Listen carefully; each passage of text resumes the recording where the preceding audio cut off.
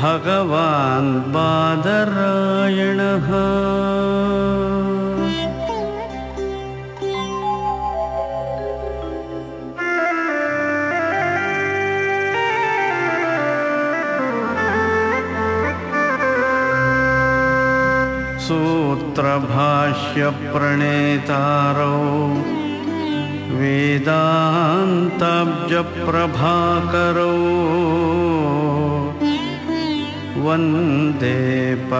परात्मानो। पातरायण शङ्करो।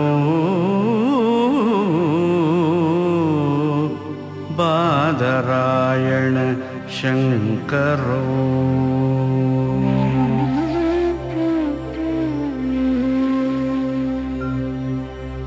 व्यासं वसिष्ठ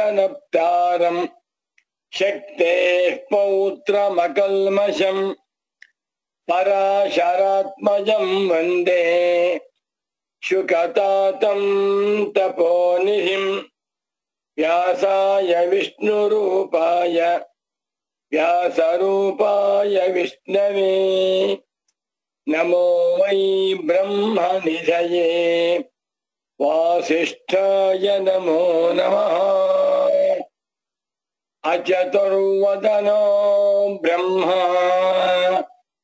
दिबाहुरपरो हरिः अपाललोचनः शम्भुः भगवान् बादरायणः। नारायणम् पद्मभुवम् वसिष्ठम् शक्तिम् च तत्पुत्रपराशरम् च व्यासम् शुकम् गौडपदम् महान्तम् गोविन्दयोगीन्द्रमथास्य शिष्यम् श्रीशङ्कराचार्यमथास्य पद्मपादम् च हस्तामलकम् च शिष्यम् तम् तोट्टकम् वार्तिककारमन्यान् अस्मद्गुरून् सन्ततमानतोऽस्मि।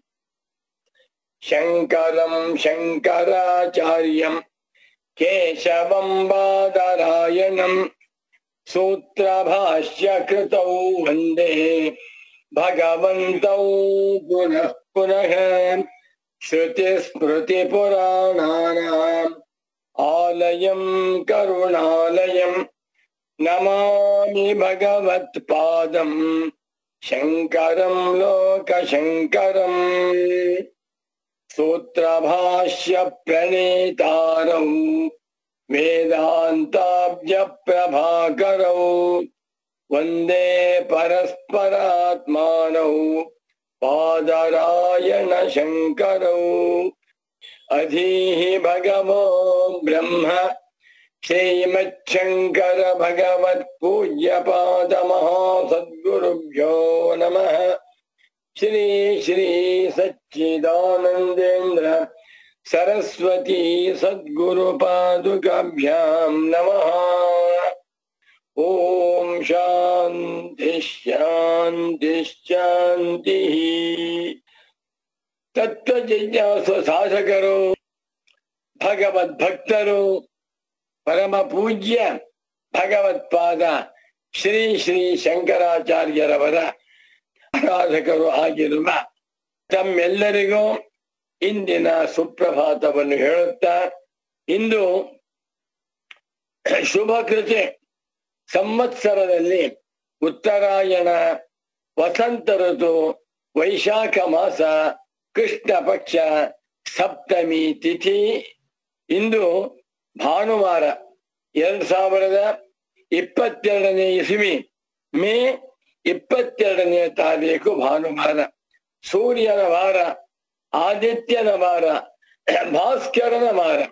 ನಮಃ ಸವಿತ್ರೇ ಜಗದೇಕ ಚಕ್ಷುಷೇ ಜಗತ್ ಪ್ರಸೂತಿ ಸ್ಥಿತಿನಾಶ ಹೇತವೇ ಯತ್ ತ್ರಿಗುಣಾತ್ಮಧಾರಿಣಿ.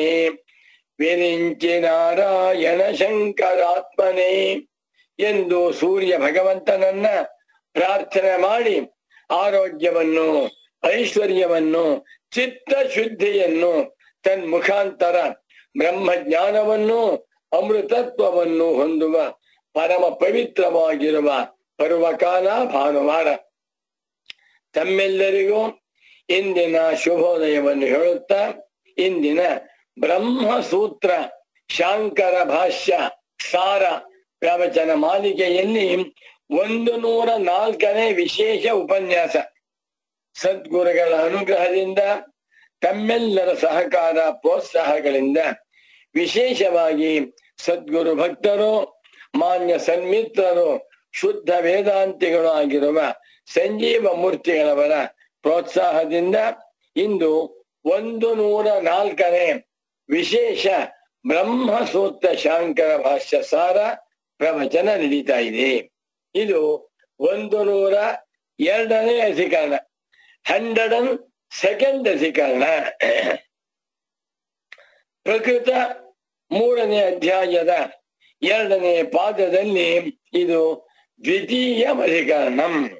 ಶುರು ಮಾಡ್ತಾ ಇದ್ದೀನಿ ಅಥ ಬ್ರಹ್ಮಸೂತ್ರ ಶಾಂಕರ ಭಾಷ್ಯೇ ವೇದಾಂತ ಮೀಮಾಂಸಾ ಶಾಂಕರ ಭಾಷ್ಯೇ ಶಾರೀರಿಕ ಮೀಮಾಂಸಾ ಶಾಂಕರ ಭಾಷ್ಯೇ ಅದ್ಭುತವಾಗಿದೆ ಈ ಶಾರೀರಿಕ ಮೀಮಾಂಸಾ ಶಾಂಕರ ಭಾಷ್ಯದಿಂದ ಕೂಡಲೇ ಬ್ರಹ್ಮಾನಂದವಾಗ್ತಾ ಇದೆ.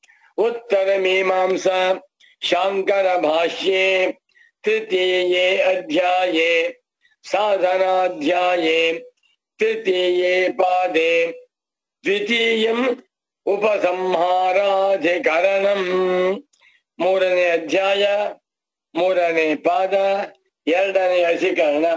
ಈ ಅಧಿಕರಣಕ್ಕೆ ಹೆಸರು ಉಪಸಂಹಾರಾಧಿಕರಣಂ.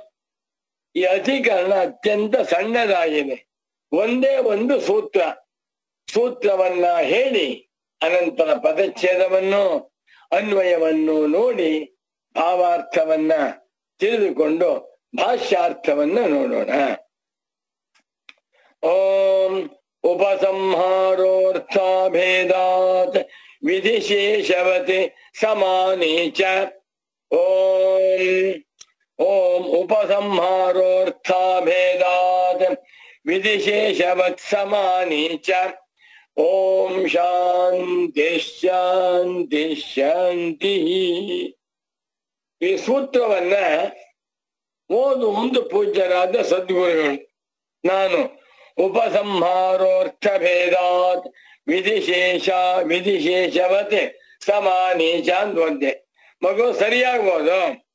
ಉಪಸಂಹಾರೋರ್ಥ ಭೇದಾತ್ ಓದ್ಬಿಟ್ಟೆ ಅರ್ಥಭೇದಾದಲ್ಲ ಅರ್ಥಾಭೇದಾತ್. ಎಷ್ಟು ಸ್ವಾರಸ್ಯ ನೋಡಿ. ದೀರ್ಘಕ್ಕೆ ಬೇರೆ ಅರ್ಥ, ಹ್ರಸ್ವಕ್ಕೆ ವಿರುದ್ಧವಾದ ಅರ್ಥ ಹ್ರಸ್ವವಲ್ಲ ದೀರ್ಘ.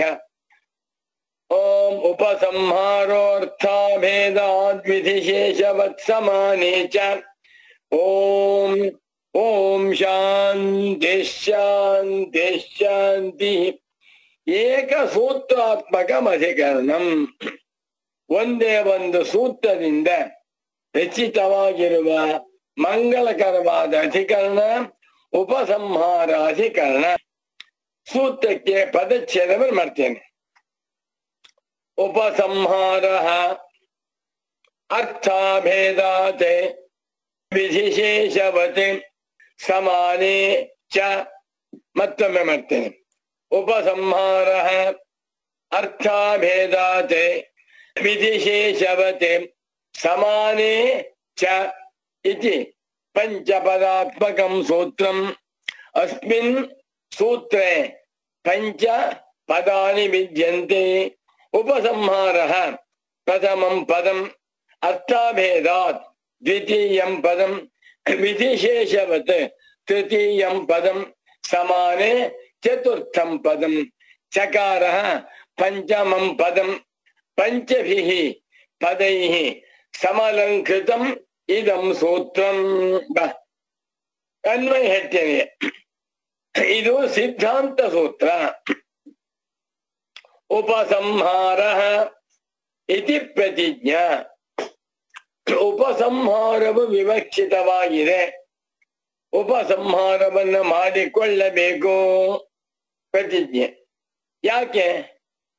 ಕೋವಾ ಹೇತು ಅರ್ಥಾಭೇದಾತ್. ಅರ್ಥದಲ್ಲಿ ಅಭೇದವಿರುವುದರಿಂದ ಸೂತ್ರವಷ್ಟನ್ನೇ ಓದಿದರೆ ತಾತ್ಪರ್ಯ ಗೊತ್ತಾಗುವುದಿಲ್ಲ. ಅದಕ್ಕೆ ಶಂಕರ ಭಾಷ್ಯ ಬೇಕು. ಜೊತೆಗೆ ಉಪದೇಶ ಮಾಡುವಂತ ಸದ್ಗುರುಗಳು ಬೇಕು. ಅಂತ ಪರಮ ಪೂಜ್ಯ ಸದ್ಗುರು ವರೇಣ್ಯರೇ, ಶ್ರೀ ಶ್ರೀ ಶ್ರೀ ಸಚ್ಚಿದಾನಂದೇಂದ್ರ ಸರಸ್ವತಿ ಮಹಾಸ್ವಾಮಿಗಳು ಉಪಸಂಹಾರ ಇತಿ ಪ್ರತಿಜ್ಞಾ ವಾಕ್ಯಂ. ಅರ್ಥಾಭೇದಾತ್ ಇತಿ ಹೇತುದ್ಯೋತಕಂ ಪದಂ. ಕಥಂ ವಿಧಿಶೇಷವತ್ ಇತಿ ದೃಷ್ಟಾಂತ ಪದಂ. ಸಮಾನೀಚ ಚ ಇತಿ ಪಂಚಮಂ ಷಷ್ಠಂಚ ಪದಂ. ಅರ್ಥ ಹೇಳ್ತೀನಿ. ಉಪಸಂಹಾರ ಉಪನಿಷತ್ತುಗಳಲ್ಲಿ ವೇದಾಂತಗಳಲ್ಲಿ ಉಪಾಸನೆಗಳನ್ನು ಹೇಳಿದ್ದಾರೆ.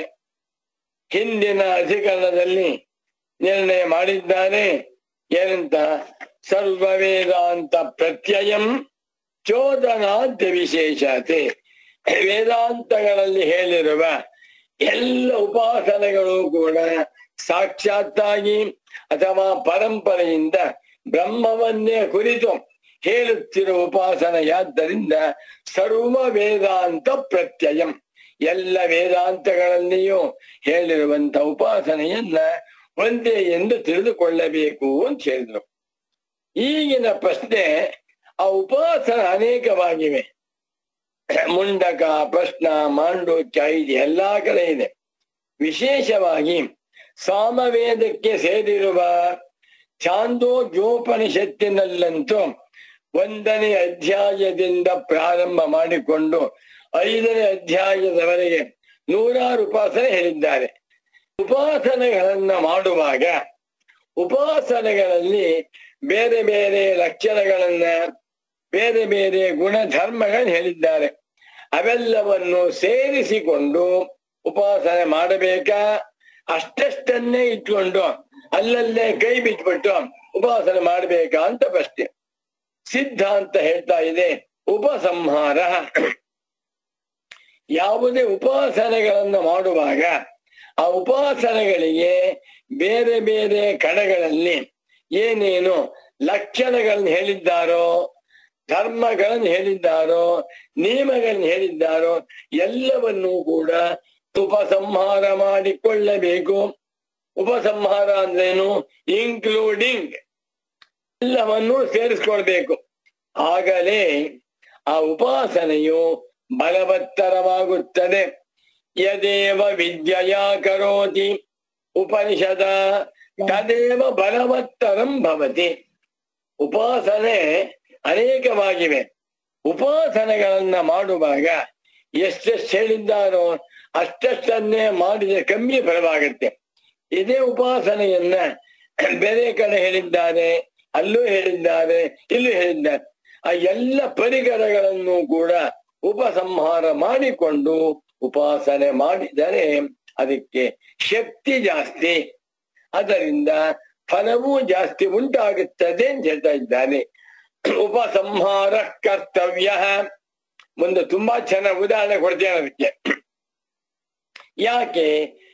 ಅರ್ಥ ಭೇದಾತೆ ಅರ್ಥದಲ್ಲಿ ಉಪಾಸನೆಯ ಪ್ರಯೋಜನದಲ್ಲಿ, ಉಪಾಸನೆಯ ಪ್ರಕಾರದಲ್ಲಿ, ಉಪಾಸ್ಯ ದೇವತೆಯಲ್ಲಿ, ಉಪಾಸನಾ ಲಕ್ಷಣದಲ್ಲಿ ಅಭೇದಾತ್. ಯಾವ ಭೇದಗಳು ಇಲ್ಲದಿರುವುದರಿಂದ ಒಂದು ಉಪಾಸನೆಗೂ, ಮತ್ತೊಂದು ಉಪಾಸನೆಗೂ ಪರಸ್ಪರ ವಿರೋಧವಿದ್ದು ಬಿಟ್ಟಿದ್ದರೆ ಆಗ ಉಪಸಂಹಾರ ಮಾಡಿಕೊಳ್ಳಬಾರದು. ಆದರೆ ಅರ್ಥ ಅಭೇದಾತ್. ಅರ್ಥದಲ್ಲಿ ಅಭೇದವಿರುವುದರಿಂದ ಉಪಸಂಹಾರವನ್ನ ಮಾಡಿಕೊಳ್ಳಬೇಕು. ಇದು ಬಾದರಾಯಣಾಚಾರ್ಯರ ಸಂದೇಶ. ಇದು ಸಾಮಾನ್ಯವಲ್ಲ. ಇಂಥ ವಿಷಯಗಳನ್ನ ನಿರ್ಣಯ ಮಾಡಬೇಕಾದರೆ ಅವರು ಬ್ರಹ್ಮಜ್ಞಾನಿಗಳು ಆಗಿರಬೇಕು, ಸರ್ವಜ್ಞರು ಆಗಿರಬೇಕು, ವಿಶೇಷವಾಗಿ ಸಮನ್ವಯಕಾರರಾಗಿರಬೇಕು. ಇದರ ಉಪದೇಶ ಮಾಡುತ್ತಿರುವವರು ಯಾರು? ಸಾಮಾನ್ಯ ವ್ಯಕ್ತಿಯಲ್ಲ. ಭಗವಾನ್ ಬಾದರಾಯಣಾಚಾರ್ಯರು. ಅವರು ಎಲ್ಲ ವೇದಾಂತಗಳನ್ನು ಕೂಡ ಆಲೋಡನೆ ಮಾಡಿ ವಿಚಾರವನ್ನು ಮಾಡಿ, ಚರ್ಚೆ ಮಾಡಿ ನಿರ್ಣಯಕ್ಕೆ ಬಂದು ಈ ಸಂದೇಶವನ್ನು ಕೊಡ್ತಾ ಇದ್ದಾರೆ. ಏನಂತ?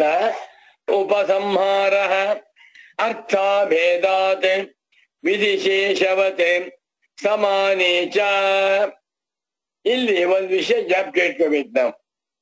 ಭಗವಾನ್ ಬಾದರಾಯಣಾಚಾರ್ಯರ ಮಹಿಮೆ ಏನು? ಬಾದರಾಯಣಾಚಾರ್ಯರನ್ನ ನಾವು ವೇದಾಂತ ಸೂತ್ರಕಾರರು ಅಂತ ಹೇಳ್ತೇವೆ.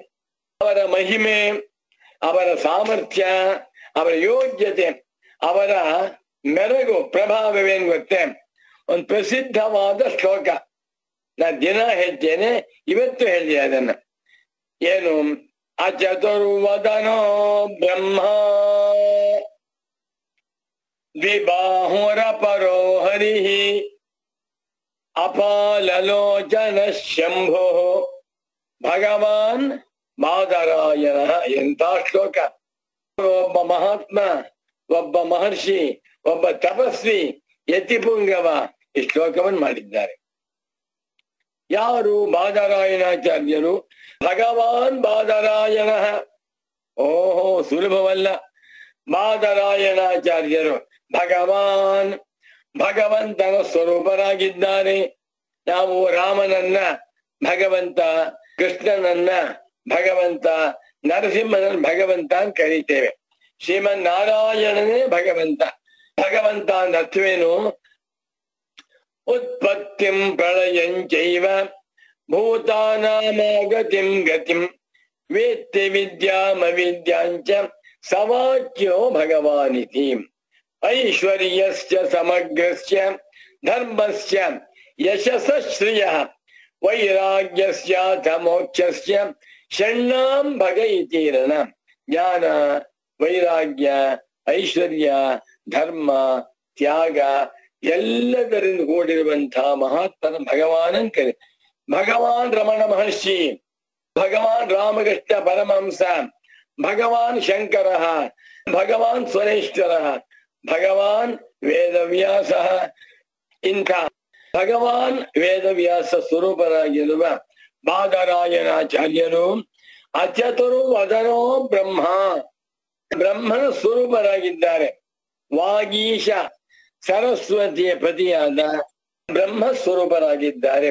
ಸೃಷ್ಟಿಕರ್ತ ಬ್ರಹ್ಮ, ಬ್ರಹ್ಮದೇವನು ತನ್ನ ನಾಲ್ಕು ಮುಖಗಳಿಂದ ವೇದ ಸ್ವರೂಪನಾಗಿ ಇಡೀ ಪ್ರಪಂಚಕ್ಕೆ ವೇದ ರಾಶಿಯನ್ನು ಅನುಗ್ರಹ ಮಾಡಿದ್ದಾನೆ.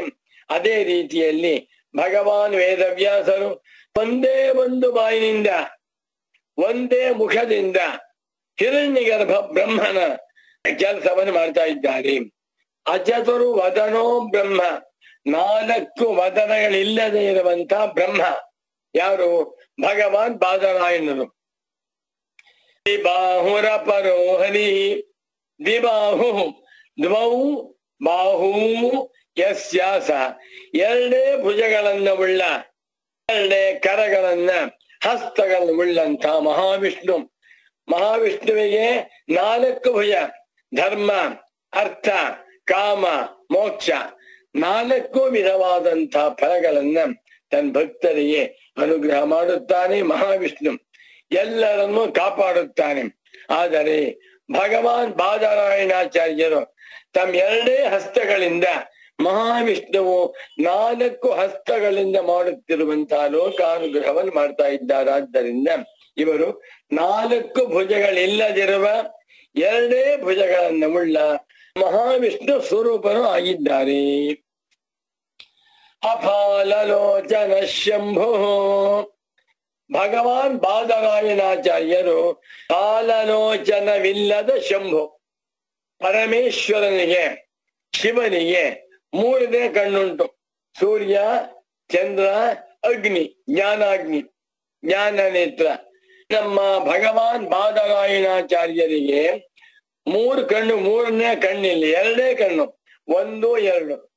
ದಕ್ಷಿಣ, ಉತ್ತರ.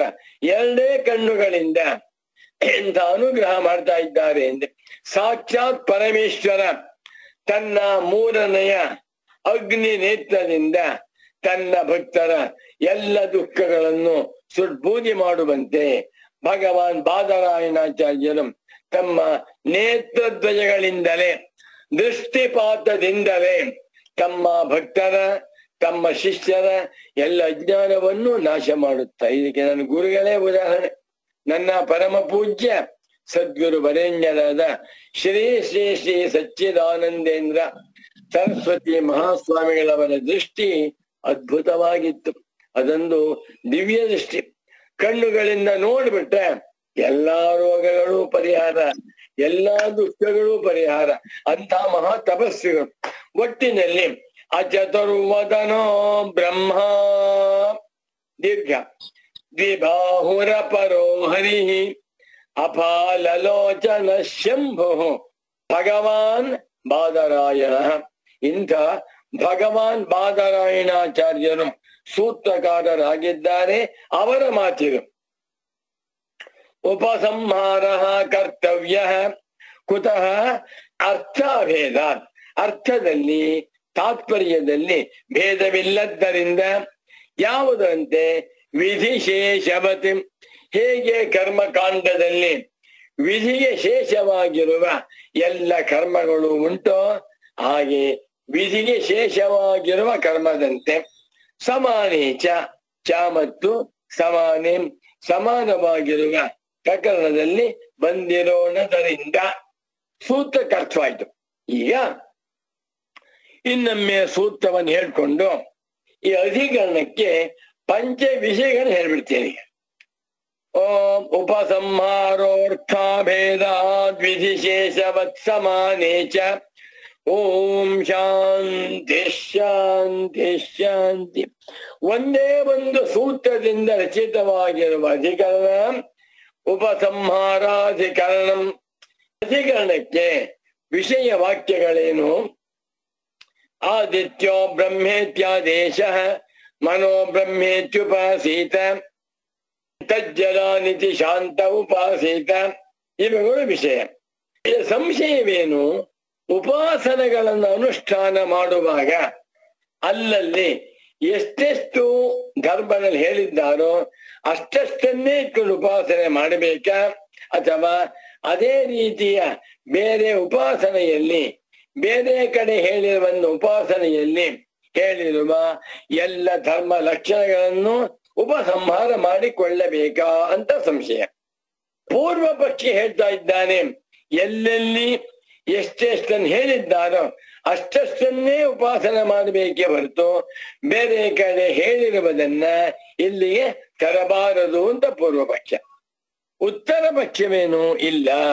ಆ ಉಪಾಸನೆ ಪರಿಪೂರ್ಣವಾಗಬೇಕಾದರೆ ಉಪಾಸನೆಗೆ ವಿಶೇಷವಾದಂತಹ ಶಕ್ತಿ, ಫಲ, ಪ್ರಯೋಜನ ಬರಬೇಕಾದರೆ ಈ ಉಪಾಸನೆಗೆ ಸಂಬಂಧಪಟ್ಟಿರುವಂತೆ, ವಿರೋಧವಿಲ್ಲದಂತೆ ಬೇರೆ ಕಡೆ ಏನೇನು ಗುಣಧರ್ಮ ಲಕ್ಷಣ ಹೇಳಿದ್ದಾರೋ ಅದನ್ನು ಕೂಡ ಉಪಸಂಹಾರ ಮಾಡಿಕೊಳ್ಳಬೇಕು ಎನ್ನುವುದು ಉತ್ತರ ಪಕ್ಷ.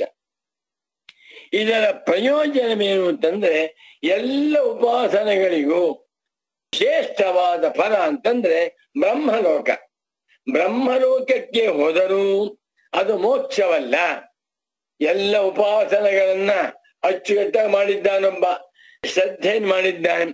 ಆ ಉಪಾಸನೆಗೆ ಸಿಕ್ಕಬಹುದಾದ ಹೈಯೆಸ್ಟ್ ಫಲ ಯಾವ್ದಪ್ಪ ಅಂದ್ರೆ ಬ್ರಹ್ಮಲೋಕ.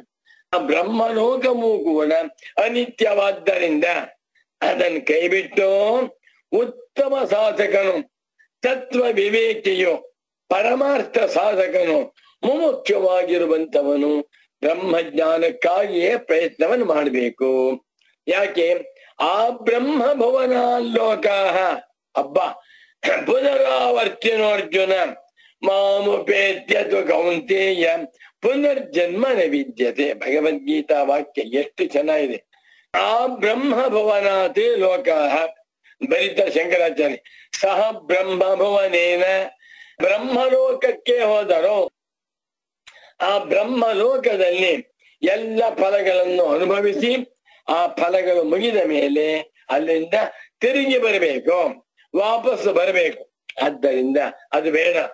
ಯಾವುದು ಅನಿತ್ಯವೋ, ಯಾವುದು ಶಾಶ್ವತವಲ್ಲವೋ, ಎಲ್ಲಿ ಸುಖ ದುಃಖ ದ್ವಂದ್ವ ಉಂಟೋ ಅಂತ ಫಲ ಬೇಡ ಎಂದು ತೀರ್ಮಾನ ಮಾಡಿ ತತ್ವ ಜಿಜ್ಞಾಸು ಸಾಧಕನು ಪರಬ್ರಹ್ಮವನ್ನು ತಾನೆಂದು ತಿಳಿದುಕೊಂಡು ಬ್ರಹ್ಮಾತ್ಮ ಜ್ಞಾನ ಸಂಪನ್ನನಾಗಿ ತದ್ಧಾಮ ಪರಮಂ ಮಮ. ಮಾಮುಪೇತ್ಯದು ಕೌಂತೆಯ ಪುನರ್ಜನ್ಮ ನೈವಿದ್ಯತೆ ಎನ್ನುವಂತೆ ಪುನರ್ಜನ್ಮ ರಹಿತವಾಗಿರುವ, ಸುಖ ದುಃಖ ದ್ವಂದ್ವ ರಹಿತವಾಗಿರುವ ಅಮೃತತ್ವವೆಂಬ ಮೋಕ್ಷವನ್ನೇ ಹೊಂದಬೇಕು ಎನ್ನುವುದು ತಾತ್ಪರ್ಯ. ನಮಗೆ ತತ್ವ ಜಿಜ್ಞಾಸು ಜನಗಳಿಗೆ ಮೋಕ್ಷದ ಮಹತ್ವ ಅರ್ಥವಾಗಬೇಕಾದರೆ ಈ ಬ್ರಹ್ಮಲೋಕದ ಹಣೆ ಬರಹ ಅರ್ಥವಾಗಬೇಕು ಒಂದು ಸಣ್ಣ ಉದಾಹರಣೆ ಕೊಡ್ತೇನೆ. ಒಬ್ಬ ಬಡವ, ಕಡು ಬಡವ, ಒಬ್ಬನೇ ಮಗಳು, ಮದುವೆ ಮಾಡ್ತಾ ಇದ್ದಾನೆ, ಅಥವಾ ಮಗ ಮದುವೆ ಮಾಡ್ತಾ ಇದ್ದಾನೆ, ಆ ಹುಡುಗಿಗೆ ಮಾಂಗಲ್ಯವನ್ನು ಹಾಕ್ಬೇಕು. ಮಾಂಗಲ್ಯ ಮಾಡಿಸುವುದಕ್ಕೆ ಯಾರ ಎಷ್ಟೇ ಬಡವರಾಗಿದ್ರು ಸಹಿತ ಕಬ್ಬಿಣವನ್ನು ಹಾಕ್ತಾರ? ಇಲ್ಲ. ಹಿತ್ತಾಳೆ ಹಾಕ್ತಾರ? ಇಲ್ಲ. ಬೆಳ್ಳಿಯನ್ನು ಹಾಕುವುದೇ ಮಾಂಗಲ್ಯಕ್ಕೆ ಬಂಗಾರವನ್ನೇ ಹಾಕಬೇಕು. ಯಾಕೆ? ಅದು ಬಂಗಾರವಾದ್ದರಿಂದ ಬಂಗಾರ ಎಷ್ಟೇ ಕಾಸ್ಟ್ಲಿ ಆಗಲಿ, ಒಂದು, ಒಂದ್ ಮಿಲ್ಲಿ ಗ್ರಾಮ್ನಾದ್ರೂ ಬಂಗಾರವನ್ನೇ ಹಾಕ್ತಾರೆ. ಮಾಂಗಲ್ಯವಲ್ಲವೇ? ಆ ಇಡೀ ಹುಡುಗಿಯ ಜೀವಮಾನ ಪರ್ಯಂತ ಮಾಂಗಲ್ಯ ಭಾಗ್ಯವನ್ನ ಕರುಣಿಸುವಂತ ಪರಮ ಮಂಗಳಕರವಾದ, ಪವಿತ್ರವಾದ ಒಂದು ಲೋಹ ಅಂತ ಬಂಗಾರ. ಯಾಕೆ ಅದು ಬಂಗಾರವಾದ್ದರಿಂದ ಬಂಗಾರ ಹಿತ್ತಾಳೆಯಲ್ಲ, ಬಂಗಾರ ತಾಮ್ರವಲ್ಲ, ಬಂಗಾರ ಅಲ್ಯೂಮಿನಿಯಂ ಅಲ್ಲ, ಬಂಗಾರ ಬೆಳ್ಳಿನೂ ಅಲ್ಲ, ಅದೇನು ಬಂಗಾರ. ಅದೇ ರೀತಿಯಲ್ಲಿ ಮೋಕ್ಷ ಬ್ರಹ್ಮಲೋಕವಲ್ಲ, ಮೋಕ್ಷ ಸ್ವರ್ಗಲೋಕವಲ್ಲ, ಮೋಕ್ಷ ದೇವಲೋಕವೂ ಅಲ್ಲ, ಇದೇನು ಮೋಕ್ಷ. ಮೋಕ್ಷ ಅಂದ್ರೇನು ವೈಷ್ಣವ ಪದ. ಇದನ್ನ ಉತ್ತಮನಾಗಿರುವಂತಹ ಸಾಧಕ ಹೊಂದುವ ಪ್ರಯತ್ನವನ್ನು ಮಾಡಬೇಕು ಅನ್ನುವುದನ್ನು ಹೇಳ್ತಾ ಇದ್ದಾನೆ. ಇದನ್ನೇ ಕಠೋಪನಿಷತ್ತಿನ ಸುಂದರವಾಗಿ ಹೇಳಿದ್ದ. ಎಲ್ಲ ಕಳ್ಳ ಇದರಲ್ಲಿ ಕಠೋಪನಿಷತ್ತಿನಲ್ಲೂ ಇದೆ, ಮುಂಡುಗಿದಲ್ಲೂ ಇದೆ. ಪರೀಕ್ಷಲೋಕಾನ್ ಕರ್ಮಚಿತಾನ್ ಬ್ರಾಹ್ಮಣ ನಿರ್ವೇದ ಮಾಯಾತ್ ನಾಸ್ತ್ಯ ಕೃತ ಕೃತೇನ ಗುರುಮೇವಾಭಿಗಚ್ಚೇತ್ ಸಮಿತ್ಪಾಣಿ ಶ್ರೋತ್ರಿಯಂ ಬ್ರಹ್ಮನಿಷ್ಠಂ ತಸ್ಮೈ ಸ ವಿದ್ವಾನ್ ಉಪಸನ್ನಾಯ ಸಮ್ಯಕ್ ಪ್ರಶಾಂತ ಚಿತ್ತಾಯ ಶಮಾನ್ವಿತಾಯ ಏನಾಕ್ಷರಂ ಪುರುಷಂ ವೇದ ಸತ್ಯಂ ಪ್ರೋವಾಚತಾಂ ತತ್ವತೋ ಬ್ರಹ್ಮ ನನ್ನ ಪರಮ ಸದ್ಗುರು ಪುಂಗವರಾದ ಶ್ರೀ ಶ್ರೀ ಶ್ರೀ ಸಚ್ಚಿದಾನಂದೇಂದ್ರ ಸರಸ್ವತಿ ಸ್ವಾಮಿಗಳವರು ಮಾತು ಹೇಳ್ತಾ ಇದ್ರು. ಈ ಎರಡೂ ಮಂತ್ರಗಳನ್ನ ಸನ್ಯಾಸಿಗಳು ತಮ್ಮ ಕೋಣೆಯಲ್ಲಿ ಬರ್ಕೊಳ್ಬೇಕು. ತತ್ವ ಜಿಜ್ಞಾಸುಗಳು ಯಾವಾಗಲೂ ಕೂಡ ಈ ಎರಡು ಮಂತ್ರಗಳ ಅರ್ಥವನ್ನ ಅನುಸಂಧಾನ ಮಾಡುತ್ತಿರಬೇಕು. ಪರೀಕ್ಷಲೋಕಾನ್ ಕರ್ಮಚಿತ ಕರ್ಮದಿಂದ ಸಂಪಾದನೆ ಮಾಡಿಕೊಳ್ಳಲ್ಪಟ್ಟ, ಕರ್ಮದಿಂದ ರಾಶಿ ಹಾಕಲ್ಪಟ್ಟ ಎಲ್ಲ ರೋಗಗಳನ್ನು ಪರೀಕ್ಷೆ ಮಾಡಿ ಜೊಳ್ಳು ಅಂತ ತಿಳ್ಕೊಂಡ.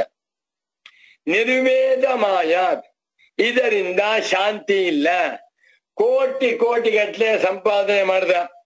ಅವ ಹೆಸರಿನಲ್ಲಿ ಒಂದ್ ಐವತ್ ಸಾವಿರ ಕೋಟಿ ಇದೆ. ಯಾವಾಗ್ಲೂ ದುಃಖ. ನಾಲ್ಕೈದು ಜನ ಪತ್ನಿಯರಿದ್ದಾರೆ. ಇಪ್ಪತ್ತೊಂಬತ್ತು ಜನ ಮಕ್ಕಳಿದ್ದಾರೆ, ಅರವತ್ತೆಂಟು ಜನ ಮೊಮ್ಮಕ್ಕಳು, ಒಂದ್ ನಲ್ವತ್ ಜನ ಮರಿ ಮಕ್ಕಳಿದ್ದಾರೆ.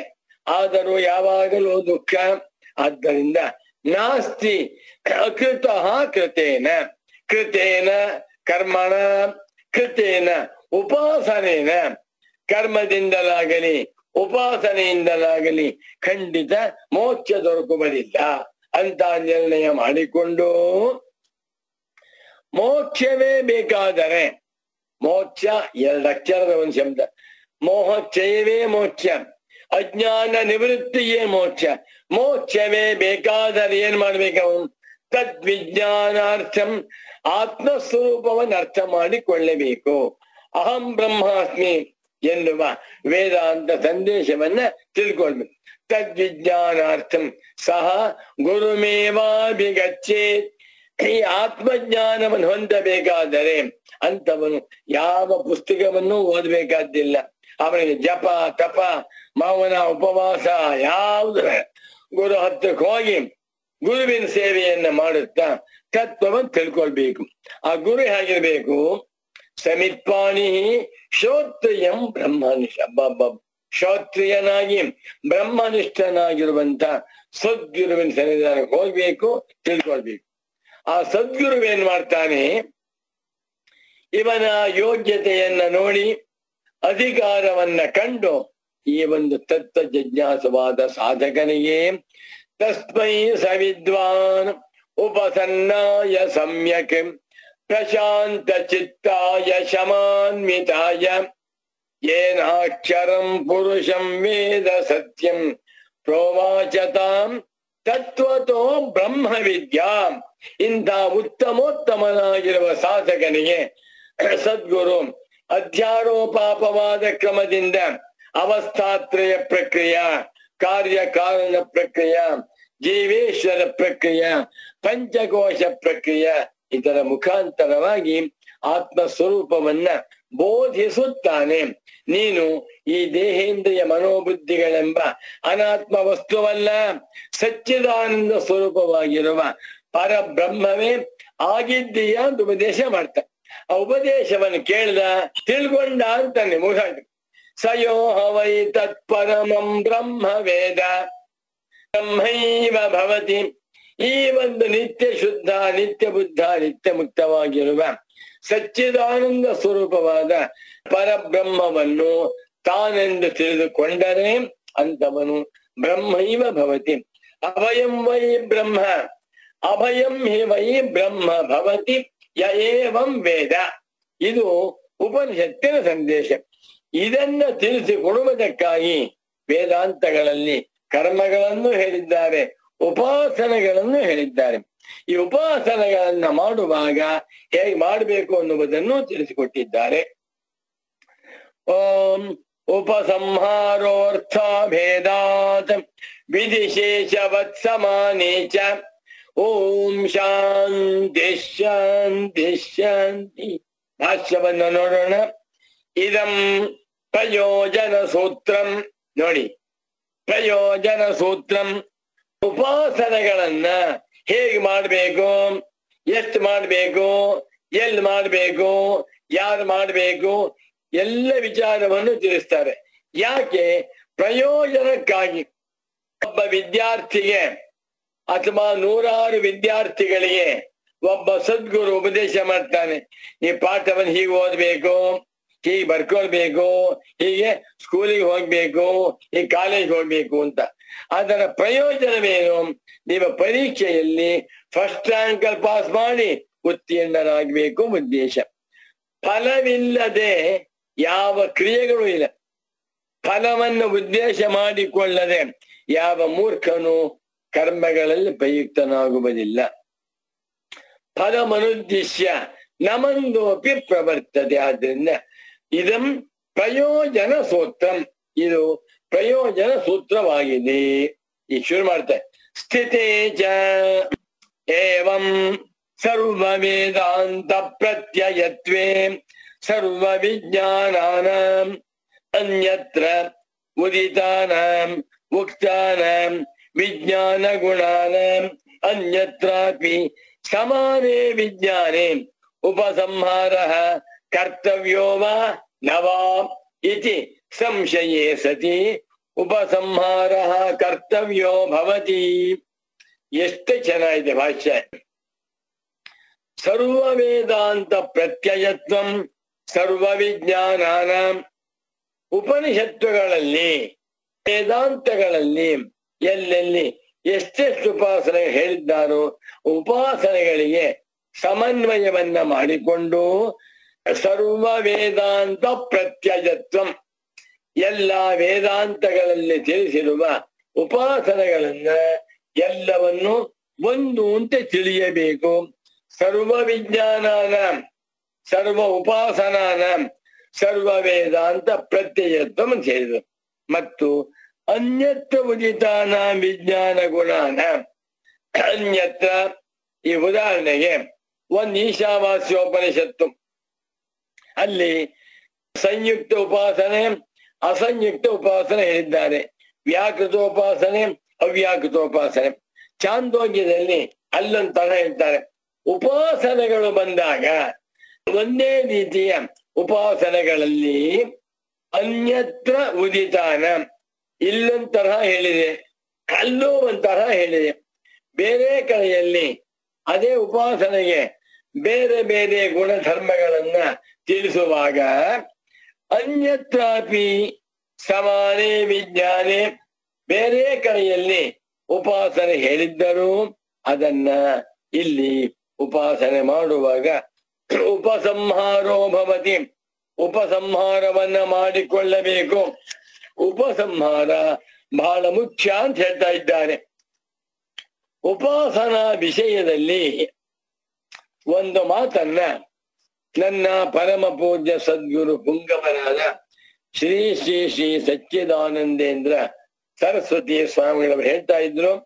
ಅದನ್ನ ಬರೆದಿದ್ದಾರೆ ಶಂಕರಾಚಾರ್ಯ ತಿಳ್ಕೋಬೇಕು ನಾವಿದನ್ನ. ಇಲ್ಲಿ ಮೂರನೇ ಅಧ್ಯಾಯದ ಮೂರನೇ ಪಾದದ ಒಂದನೇ ಅಧಿಕರಣಕ್ಕೆ ಪೀಠಿಕಾ ಬರೆದಿದ್ದಾರೆ, ತುಂಬಾ ಚೆನ್ನಾಗಿದೆ. ಅಲ್ಲೊಂದು ಮಾತು ಬರೆದಿದ್ದಾರೆ ಶಂಕರಾಚಾರ್ಯರವರು. ಏನು? ಕರ್ಮವದೇವಚ ಉಪಾಸನಾನಿ ದೃಷ್ಟ ಫಲಾನಿ ಅದೃಷ್ಟ ಫಲ ಚ ಮುಚ್ಯಂತೆ ಕ್ರಮ ಮುಕ್ತಿ ಫಲಾನಿ ಚ ಕಾನಿಚಿತ್, ಸಮ್ಯಕ್ ದರ್ಶನೋತ್ಪತ್ತಿ ದ್ವಾರೇಣ ಇವೆ ಅಂಡರ್ಲೈನ್ ಉಪಾಸನೆಗಳನ್ನ ಮೂರು ರೀತಿಯಾಗಿ ವಿಂಗಡಿಸಿಕೊಳ್ಳಬೇಕು. ಸಾಮಾನ್ಯ ಜನಗಳು ಉಪಾಸನೆ ಮಾಡ್ತಾರೆ. ಸಕಾಮರಾಗಿ. ತತ್ವ ಜಿಜ್ಞಾಸುಗಳು ಉಪಾಸನೆ ಮಾಡ್ತಾರೆ. ಸಮ್ಯಕ್ ದರ್ಶನ ಪ್ರಾಪ್ತಿಗಾಗಿ. ನಿವೃತ್ತ ಧರ್ಮ ಪರಾಯಣರಾದ ಸನ್ಯಾಸಿಗಳು ಉಪಾಸನೆ ಮಾಡ್ತಾರೆ. ಯಾವುದಕ್ಕಾಗಿ? ಬ್ರಹ್ಮಜ್ಞಾನ ಪ್ರಾಪ್ತಿಗಾಗಿ. ಮೂರು ಭಾಗ ಮಾಡ್ಕೋಬೇಕು. ಹೇಗೆ ಕರ್ಮಗಳನ್ನ ಮಾಡುವಂತವರಿಗೆ ಮೂರು ವಿಧವಾದ ಫಲವಾಗುತ್ತೋ, ಈ ಉದಾಹರಣೆಗೆ ಅಗ್ನಿಹೋತ್ರ ಅಂತ ಕರ್ಮ. ಅಗ್ನಿಹೋತ್ರಾನುಷ್ಠಾನವನ್ನ ಒಬ್ಬ ಗೃಹಸ್ಥ ಪ್ರತಿ ದಿವಸ ಸರಿಯಾಗಿ ಮಾಡ್ತಾ ಇದ್ದಾನೆ. ಉದಿತೆ ಜುಹೋತಿ ಅಥವಾ ಅನುದಿತೆ ಜುಹೋತಿ ಎಂದು ಇಟ್ಕೊಂಡು ಆ ನಿಯಮದಂತೆ ಸಾಯುವವರೆಗೂ ಅಗ್ನಿಹೋತ್ರ ಅನುಷ್ಠಾನ ಮಾಡಿದ. ಅವನಿಗೆ ಸತ್ತ ಮೇಲೆ ಸ್ವರ್ಗಲೋಕ ಪ್ರಾಪ್ತಿ ಆಗುತ್ತೆ ಮುಗಿದಾಯ್ತು. ಇನ್ನೊಬ್ಬ ಇದ್ದಾನೆ. ಅಗ್ನಿಹೋತ್ರ ಅನುಷ್ಠಾನ ಮಾಡ್ತಾ ಇದ್ದಾನೆ. ಅವನಿಗೇನು ವೈರಾಗ್ಯ ಬಂತು. ಸ್ವರ್ಗಲೋಕ ಬೇಡ ಅಂತ ಅನ್ನಿಸ್ತು. ಆದ್ರೂ ಮಾಡ್ತಾ ಇದ್ದಾನೆ. ಅವನಿಗೆ ಚಿತ್ತ ಶುದ್ಧಿಯಾಗಿ ಅದರಿಂದ ಒಳ್ಳೆ ಫಲವಾಗಿದೆ. ಮತ್ತೊಬ್ಬ ಇದ್ದಾನೆ. ಅವನು ಚಿತ್ತ ಶುದ್ಧಿಗೋಸ್ಕರವಾಗಿಯೇ ಸಮ್ಯಜ್ಞಾನ ಪ್ರಾಪ್ತಿಗಾಗಿಯೇ ಕರ್ಮವನ್ನು ಮಾಡ್ತಾ ಇದ್ದ ಅದು ಕರ್ಮ ಯೋಗ ಅಗ್ನಿಹೋತ್ರಾನುಷ್ಠಾನವನ್ನ ಮೂವರು ಮಾಡುತ್ತಿದ್ದರೂ ಪ್ರಯೋಜನ ಬೇರೆ. ಬೇರೆ ಇವನಿಗೆ ಈ ಜನ್ಮದಲ್ಲಿಯೇ ಚಿತ್ತ ಶುದ್ಧಿಯಾಗಿ ವೈರಾಗ್ಯ ಬಂದು ತುರಿಯಾಶ್ರಮವನ್ನ ಸ್ವೀಕಾರ ಮಾಡಿ. ಎಲ್ಲ ಅಗ್ನಿಹೋತ್ರಗಳನ್ನು ಅಗ್ನಿಹೋತ್ರ ಅನುಷ್ಠಾನದ ಎಲ್ಲ ಕಾರಕಗಳನ್ನು ತ್ಯಾಗ ಮಾಡಿ, ಶಿಖೆಯನ್ನು ತ್ಯಾಗ ಮಾಡಿ, ಜನವಾರವನ್ನು ತ್ಯಾಗ ಮಾಡಿ ಸನ್ಯಾಸಿಯಾಗಿ ತತ್ವ ಚಿಂತನೆ ಮಾಡ್ತಾ ಇದ್ದಾನೆ. ಸತ್ವ ಶುದ್ಧಿಯಾಗಿ ಬಿಟ್ಟಿದೆ ಸತ್ವ ಶುದ್ಧಿ ಉಳ್ಳಂತವನಿಗೆ ಮುಂದೆ ಬ್ರಹ್ಮಜ್ಞಾನ ಸುಲಭವಾಗುತ್ತೆ ಅದೇ ರೀತಿಯಲ್ಲಿ ಕರ್ಮವತೆ ಹೇಗೆ ಕರ್ಮಗಳು? ಮೂರು ರೀತಿಯ ಫಲಗಳನ್ನು ಕೊಡುತ್ತವೆಯೋ, ಅದೇ ರೀತಿಯಲ್ಲಿ ಉಪಾಸನಾನಿ. ಬ, ಕರ್ಮಗಳು ಶರೀರ ಇಂದ್ರಿಯ ಪ್ರಧಾನವಾದರೆ ಉಪಾಸನೆಗಳು ಮನಃಪ್ರಧಾನ. ಶರೀರ ಹೇಗಾದ್ರೂ ಇರಲಿ. ಇಂದ್ರಿಯ ಹೇಗಾದ್ರೂ ಇರಲಿ. ಇವನಿಗೆ ಯಾವ ಬಾಹ್ಯವಾಗಿರುವ ಉಪಕರಣಗಳು ಬೇಕಾಗಿಲ್ಲ. ಮನಸ್ಸಿನಿಂದ ಸಾಕು. ಮನಸ್ಸಿನಿಂದ ಉಪಾಸನೆ ಮಾಡ್ತಾ ಇದ್ದಾರೆ. ಇದರಲ್ಲೂ ಮೂರು ತರಹ. ದೃಷ್ಟ ಫಲಾನಿ ಉಪಾಸನಾನಿ. ಕೆಲವು ಉಪಾಸನೆಗಳು ದೃಷ್ಟ ಫಲ ಈ ಜನ್ಮದಲ್ಲಿಯೇ ಐಶ್ವರ್ಯ ಬರಬೇಕು, ಅಧಿಕಾರ ಬೇಕು ಮಂತ್ರಿ ಪದವಿ ಬೇಕು, ಜನಾಕರ್ಷಣೆ ಬೇಕು, ಧನಾಕರ್ಷಣೆ ಬೇಕು, ಆರೋಗ್ಯ ಬೇಕು, ಆಯುಷ್ಯ ಬೇಕು. ಇದಕ್ಕೇನು ಹೆಸರು? ದೃಷ್ಟ ಫಲಾನಿ ಇನ್ ಕೆಲವು ಉಪಾಸನಗಳು ಅದೃಷ್ಟ ಫಲಾನಿ ಈ ಜನ್ಮದಲ್ಲಿ ಉಪಾಸನೆ ಮಾಡ್ತಾ ಇದ್ದಾನೆ, ಬಡವನಾಗಿದ್ದಾನೆ. ಈ ಜನ್ಮದಲ್ಲಿ ಉಪಾಸನೆ ಮಾಡ್ತಾ ಇದ್ದಾನೆ, ರೋಗಿಷ್ಠನಾಗಿರಬಹುದು. ಈ ಜನ್ಮ ಉಪಾಸನೆ ಮಾಡ್ತಾ ಇದ್ದಾನೆ. ಜನಪ್ರಿಯನಾಗದಿರಬಹುದು ಆದರೆ ಈ ಉಪಾಸನೆಗಳ ಫಲವೆಲ್ಲವೂ ಅದೃಷ್ಟ. ಮರಣಾನಂತರ ಒಳ್ಳೆ ಫಲಗಳನ್ನ ಕೊಡುತ್ತೆ. ಇನ್ನೊಂದು ಮುಕ್ತಿ ಫಲಾನಿ. ನೋಡಿ, ಈ ಜನ್ಮದಲ್ಲಿ ಬ್ರಹ್ಮಜ್ಞಾನವಾಗಲಿಲ್ಲ, ಮುಕ್ತಿ ದೊರಕಲಿಲ್ಲ. ಈ ಉಪಾಸನೆಯ ಫಲದಿಂದ ಬ್ರಹ್ಮಲೋಕಕ್ಕೆ ಹೋಗ್ತಾನೆ. ಏನು? ಹಾಗೆ ಹೇಳುವ ಸುಲಭವಲ್ಲ. ಒಬ್ಬ ಪ್ರಧಾನಮಂತ್ರಿ ಆಗಬೇಕು ಅಂತಂದ್ರೆ ಎಷ್ಟು ದೊಡ್ಡ ತಪಸ್ಸಿದೆ, ಇನ್ನು ಮೋಕ್ಷ ಹೊಂದಬೇಕು ಅಂತ ಸಾಮಾನ್ಯವೇ. ಆದ್ದರಿಂದ ಕ್ರಮ ಮುಕ್ತಿ ಫಲಾನಿ. ಈ ಜನ್ಮದಲ್ಲಿ ಉಪಾಸನೆ ಮಾಡ್ತಾ ಇದ್ದಾನೆ. ಅವರು ಅರಣ್ಯದ ವಾಸವಾಗಿದ್ದು, ಶ್ರದ್ಧಾಮುಪಾಸತೆ. ತಪಶ್ರದ್ಧೇಯೇ ಶುಭವಸಂಚರಣ್ಯೇ. ಶಾಂತ ವಿದ್ವಾಂಸೋ ಭೈಕ್ಷಚರ್ಯಾಂ ಚರಂತ. ಸೂರ್ಯದ್ವಾರೇಣ ತೇ ವಿರಜಾ ಪ್ರಯಾಂತಿ ಯತ್ರಾಮೃತಸ್ಥ ಪುರುಷೋ ಶವ್ಯಯಾತ್ಮ ಬ ಸೂರ್ಯ ಲೋಕದ ಮುಖಾಂತರ ಉತ್ತರಾಯಣ ಮಾರ್ಗದ ಮುಖಾಂತರ ಬ್ರಹ್ಮಲೋಕಕ್ಕೆ ಹೋಗಿ ಅಲ್ಲಿದ್ದು ಬ್ರಹ್ಮನಿಂದ ವೇದಾಂತೋಪದೇಶವನ್ನ ಶ್ರವಣ ಮಾಡಿ ಅಲ್ಲಿ ಸಮ್ಯಕ್ ದರ್ಶನವನ್ನ ಪಡೆದು ಮೋಕ್ಷ ಹೊಂದುತ್ತಾರೆ ಇಂಥ ಉಪಾಸನಗಳನ್ನ ಉಪನಿಷತ್ತುಗಳಲ್ಲಿ ಸಮೃದ್ಧಿಯಾಗಿ ಹೇಳಿದ್ದಾರೆ ಆದ್ದರಿಂದ ಬ್ರಹ್ಮಜ್ಞಾನ ಪ್ರಾಪ್ತಿಗೆ ಸೋಪಾನವಾಗಿರುವ ಉಪಾಸನೆಗಳನ್ನ ಕುರಿತು ವಿಚಾರವನ್ನು ಮಾಡೋಣ ಅಂತ ಹೇಳ್ತಾ ಇದ್ದಾರೆ ಅನ್ಯತ್ರಾಪಿ ಸಮಾನೇ ವಿಜ್ಞಾನೇ, ಒಂದು ವೇದಾಂತದಲ್ಲಿ ಹೇಳಿರುವಂತಹ ಒಂದು ಉಪಾಸನೆ ಇದೆ. ಬೇರೊಂದು ವೇದಾಂತದಲ್ಲಿ ಇದೇ ಉಪಾಸನೆಯನ್ನ ಬೇರೆ ತರ ಹೇಳಿದ್ದಾರೆ ಹಾಗಿರುವಾಗ ಸಮಾನೇ ವಿಜ್ಞಾನೇ ಸಮಾನವಾಗಿರುವ. ಒಂದೇ ತರಹದ ಉಪಾಸನೆಯಲ್ಲಿ ಉಪಸಂಹಾರವನ್ನ ಮಾಡಿಕೊಳ್ಳಬೇಕು. ಏಕೆಂದರೆ ಎಲ್ಲ ಗುಣಧರ್ಮಗಳನ್ನು ಸೇರಿಸಿಕೊಂಡು ಉಪಾಸನೆ ಮಾಡಿದಾಗ ಆ ಉಪಾಸನೆಗೆ ವಿಶೇಷವಾದಂತಹ ಶಕ್ತಿ ಬರುತ್ತದೆ. ಸಣ್ಣ ಉದಾಹರಣೆ ಕೊಡ್ತೇನೆ. ಎಸ್ ಎಸ್ ಎಲ್ ಸಿ ಪರೀಕ್ಷೆ. ಪರೀಕ್ಷೆ ಮುಂದಿನ ತಿಂಗಳಿದೆ. ಹುಡುಗರು ಓದ್ತಾ ಇದ್ದಾರೆ. ಪಠ್ಯದಲ್ಲಿ, ಪಠ್ಯ ಪುಸ್ತಕದಲ್ಲಿ ಕೆಲವು ವಿಚಾರವನ್ನು ತಿಳಿಸಿದ್ದಾರೆ. ಅದೇ ವಿಷಯವನ್ನು ಕುರಿತು ಬೇರೆ ಪಠ್ಯ ಪುಸ್ತಕದಲ್ಲೂ ಬೇರೆ ವಿಷಯವನ್ನು ತಿಳಿಸಿದ್ದಾರೆ. ಆಗ ಅವನು ಆ ಗ್ರಂಥವನ್ನು ಓದಿಕೊಂಡು ಎಸ್ ಎಸ್ ಎಲ್ ಸಿ ಪರೀಕ್ಷೆಗೆ ಸಂಬಂಧಪಟ್ಟಿರುವಂತೆ ಏನೇನು ವಿಷಯವಿದೆಯೋ ಎಲ್ಲವನ್ನು ತಿಳಿದುಕೊಂಡು ಪರೀಕ್ಷೆಯಲ್ಲಿ ಬರೆದಾಗ ಹೆಚ್ಚಿನ ಅಂಕಗಳು ಬರುತ್ತೆ. ಇನ್ನೊಂದು ಉದಾಹರಣೆ. ಐ ಎ ಎಸ್ ಪರೀಕ್ಷೆ ಅದು Indian administration service competitive examination ಬಹಳ ಕಷ್ಟ ಬಹಳ ಸುಲಭ ಅದರಲ್ಲಿ ಯಾವ ದೊಡ್ಡ ದೊಡ್ಡ ಪ್ರಶ್ನೆಗಳನ್ನು ಕೇಳಿದ್ದಾರೆ. ಸಿಂಪಲ್ ಪ್ರಶ್ನೆಗಳನ್ನು ಕೇಳ್ತಾರೆ. ಎಷ್ಟು ಓದ್ಬೇಕು ಅವನು? ಎಲ್ಲವನ್ನು ವೇದಾಂತವನ್ನು ಓದ್ಬೇಕು. ವೇದವನ್ನು ತಿಳ್ಕೊಳ್ಬೇಕು. ಎಲ್ಲೆಲ್ಲಿ ಏನೇನು ಹೊಸ ಹೊಸ ವಿಷಯ ಹೇಳ್ತಾರೋ ಎಲ್ಲವನ್ನು ತಿಳಿದುಕೊಂಡು ಅಧ್ಯಯನ ಮಾಡಿದಾಗ ಪರೀಕ್ಷೆ ಪಾಸ್ ಆಗ್ಬೋದು. ಅದೇ ರೀತಿಯಲ್ಲಿ ಉಪಾಸನೆಗಳನ್ನ ಮಾಡುವಾಗ ಆ ಉಪಾಸನೆಗಳಿಗೆ ಸಂಬಂಧಪಟ್ಟಂತೆ ಅನ್ಯತ್ರ ಬೇರೆ ಕಡೆಗಳಲ್ಲಿಯೂ ಏನ್ ಹೇಳಿದ್ದಾರೋ ಅದನ್ನ ಇಲ್ಲಿ ಉಪಸಂಹಾರ ಮಾಡಿಕೊಳ್ಳಬೇಕು. ಉಪಸಂಹಾರ ಇತಿ ಸಿದ್ಧಾಂತ ಯಾಕೆ ಅರ್ಥ ಅಭೇದ ಅರ್ಥದಲ್ಲಿ ಗುಣದಲ್ಲಿ ಯಾವ ಭೇದವೂ ಇಲ್ಲದ್ದರಿಂದ ಸೂತ್ರ ಉಪಸಂಹಾರ ಇತಿ ಪ್ರತಿಜ್ಞಾ ವಾಕ್ಯಂ ಅರ್ಥಭೇದಾತ್ ಇತಿ ಹೇತು ಯಯೇವ ಹಿ ತೇಷಾಂ ಗುಣಾನಾಂ ಏಕತ್ರ ಅರ್ಥಃ ವಿಶಿಷ್ಟ ವಿಜ್ಞಾನೋಪಕಾರಃ.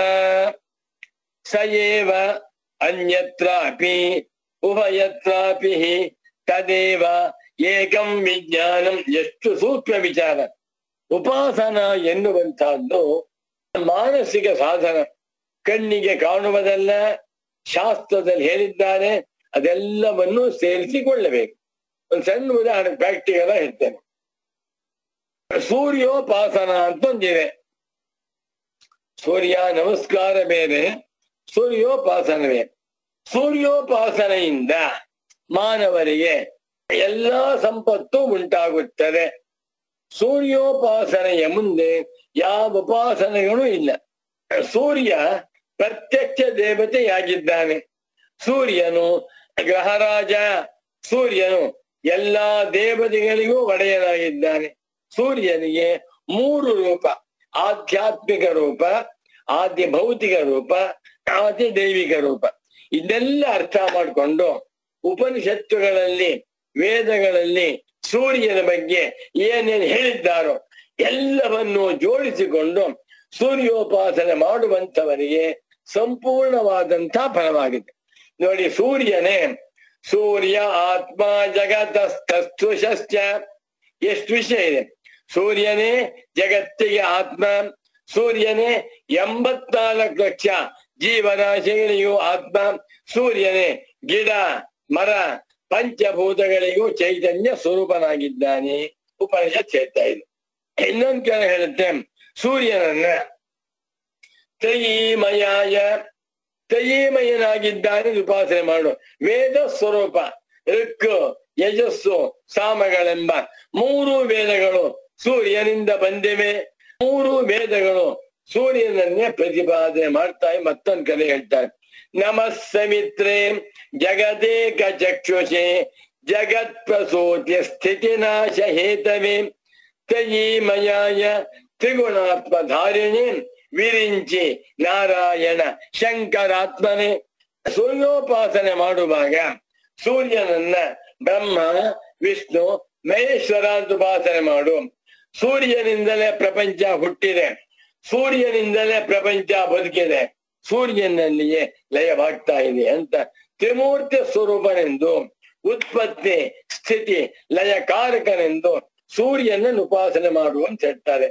ಮತ್ತೊಂದು ಕಡೆ ಹೇಳ್ತಾರೆ, ಸೂರ್ಯನಿಂದಲೇ ಚಂದ್ರ ಮನಸೋ ಜಾತಃ, ಚಕ್ಷೋ ಸೂರ್ಯೋ ಅಜಾಯತ.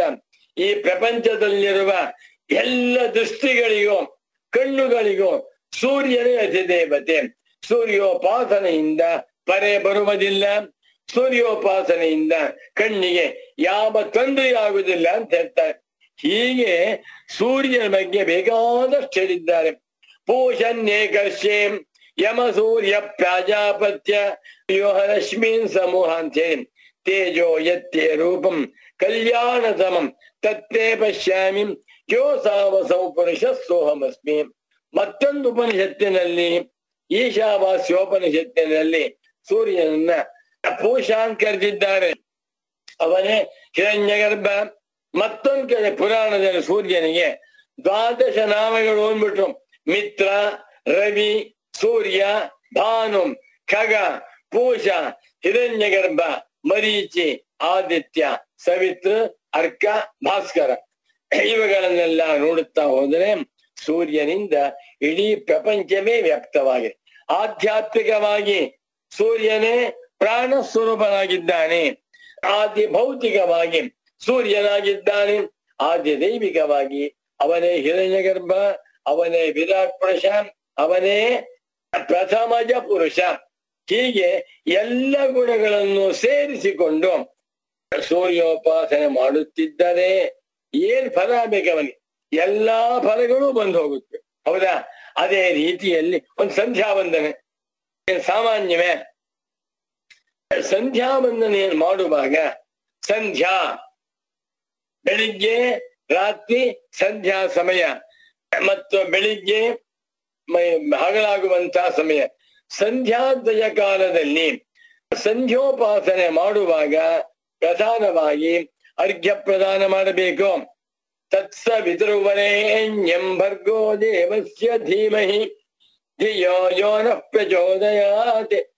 ಅರ್ಘ್ಯವನ್ನು ಕೊಡುವಾಗ ಸೂರ್ಯೋಪಾಸನೆ, ಅನಂತರ ಜಪ ಅನುಷ್ಠಾನ ಮಾಡುವಾಗ ಸೂರ್ಯೋಪಾಸನೆ. ಇದೆಲ್ಲವನ್ನು ಮನಸ್ಸಿಗೆ ತಂದುಕೊಂಡಾಗ ಎಷ್ಟು ಫಲವಾಗುತ್ತೆ ನಮಗೆ.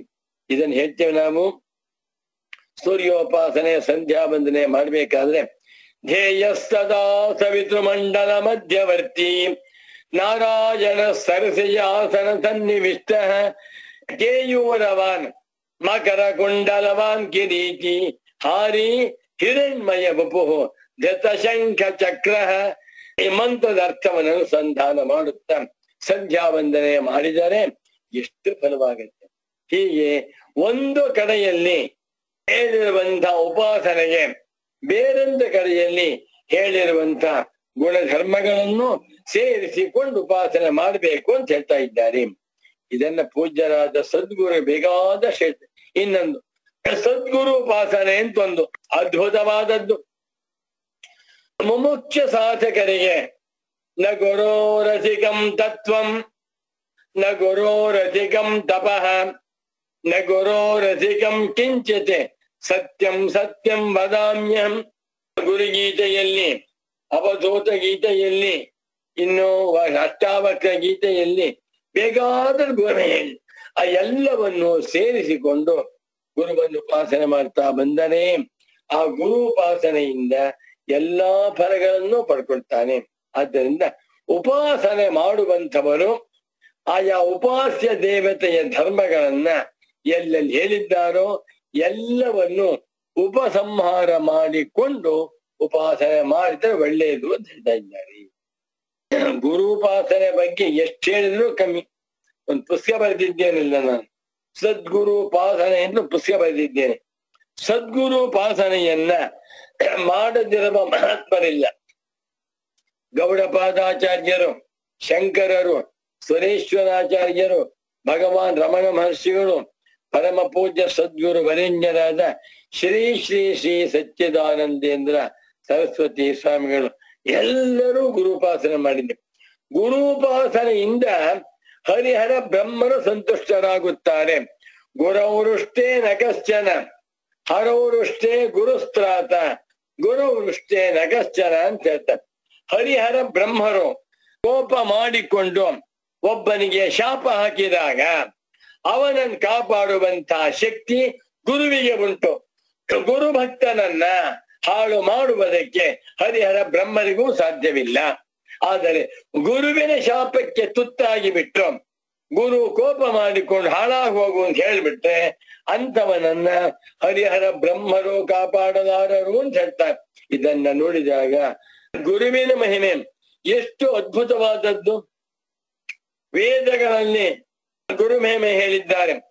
ಚರಣಂ ಪವಿತ್ರಂ ವಿತತಂ ಪುರಾಣಂ ಏನ ಪೂತಸ್ತರತಿ ದುಷ್ಕೃತಾನಿ ತೇನ ಪವಿತ್ರೇನ ಶುದ್ಧೇನ ಪೂತಾ ಅತಿ ಪಾಪ್ಮಾನಮರಾತಿಂತರೇಮ ಸದ್ಗುರುವಿನ ಪಾದ ಸೇವೆಯಿಂದ ಸದ್ಗುರು ಸಂತೋಷ ಪಡಿಸುವುದರಿಂದ ಹಿಂದಿನ ನೂರಾರು ಜನ್ಮಗಳಲ್ಲಿ ಮಾಡಿರುವಂತ ಎಲ್ಲಾ ಪಾಪಗಳು ಸುಡ್ಬೂದಿಯಾಗುತ್ತವೆ। ಸದ್ಗುರುವಿನ ಅನುಗ್ರಹದಿಂದ ಆ ಮನುಷ್ಯನು ಕೃತಾರ್ಥನಾಗಿ ಬಿಡ್ತಾನೆ ಅಂತ ಹೇಳ್ತಾರೆ. ಇದೆಲ್ಲವನ್ನೂ ಸೇರಿಸ್ಕೊಳ್ಬೇಕು.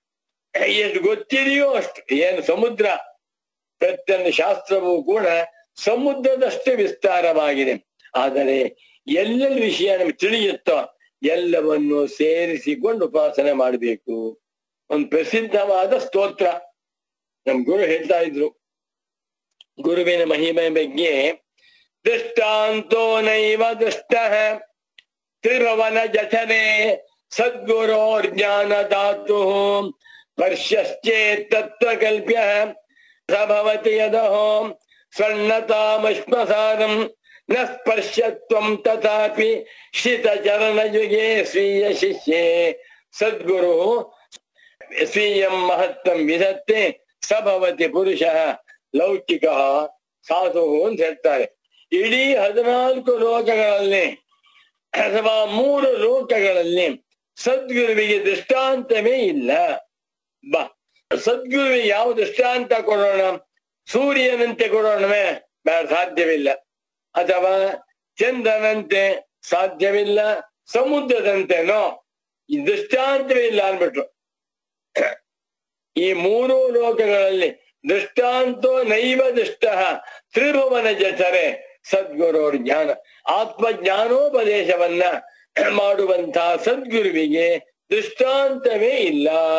ಆದರೆ ಸ್ಪರ್ಶಮಣಿ ದೃಷ್ಟಾಂತ ಕೊಡಬಹುದಲ್ಲ ಸ್ಪರ್ಶಶ್ಚೇ ತತ್ರ ಕಲ್ಪ್ಯ ಸಭವತಿ ಯದಹೋ ಸ್ವರ್ಣತಾಮಶ್ಮಸಾರಂ ಸ್ಪರ್ಶಮಣಿ ಅದ್ಭುತವಾದಂತ ಒಂದು ಮಣಿ. ಅದನ್ನು ಕಬ್ಬಿಣಕ್ಕೆ ತಾಕ್ಸಿದ್ರೆ ಅದು ಬಂಗಾರವಾಗ್ಬಿಡುತ್ತೆ. ಆದ್ರಿಂದ ಸದ್ಗುರುವಿನ ಅನುಗ್ರಹದಿಂದ ಸದ್ಗುರು ಸೇವೆ ಮಾಡುವಂತ ಒಬ್ಬ ವ್ಯಕ್ತಿ ಬಂಗಾರದಂತೆ ಆಗ್ತಾನೆ ಅಂತ ಹೇಳ್ಬಹುದಲ್ಲ ಅಂದ್ರೆ ಅದು ಸರಿಯಲ್ಲ ನ ಸ್ಪರ್ಶತ್ವಂ ಆ ಸ್ಪರ್ಶಮಣಿ ಕಬ್ಬಿಣ ತಾಗಿಸಿದಾಗ ಕಬ್ಬಿಣವನ್ನ ಬಂಗಾರವನ್ನಾಗಿ ಮಾಡುತ್ತದೆಯೇ ಹೊರತು ಮತ್ತೊಂದು ಸ್ಪರ್ಶಮಣಿಯನ್ನಾಗಿ ಮಾಡುವುದಿಲ್ಲ ಆದರೆ ಸದ್ಗುರು ತನ್ನ ಶಿಷ್ಯನನ್ನ ಪ್ರೇಮ ಪುತ್ರನನ್ನ ಚೆನ್ನಾಗಿ ಸೇವೆ ಮಾಡಿರುವಂತ ತನ್ನ ಒಬ್ಬ ಭಕ್ತನನ್ನ ತನ್ನಂತೆ ಮಾಡ್ಬಿಡುತ್ತೆ ಸ್ವೀಯ ಶಿಷ್ಯ ತನ್ನ ಶಿಷ್ಯನನ್ನ ತನ್ನಂತೆ ಮಾಡ್ಬಿಡ್ತಾನೆ ಅಂದ್ಮೇಲೆ ಸದ್ಗುರುವೇ ಅಪಾರವಾದದ್ದು. ಇದನ್ನೆಲ್ಲ ಮನಸ್ಸಿಗೆ ತಂದುಕೊಂಡು ಸದ್ಗುರುಪಾಸನೆಯನ್ನು ಮಾಡಿದರೆ ಅಂತವರಿಗೆ ಹರಿಹರ ಬ್ರಹ್ಮಾದಿ ಸಕಲ ದೇವಾದಿ ದೇವತೆಗಳ ಅನುಗ್ರಹ ಉಂಟಾಗುತ್ತದೆ ಅಂತ ಹೇಳ್ತಾ ಇದ್ದು ಪೂಜ್ಯರಾದ ಸದ್ಗುರುಗಳು.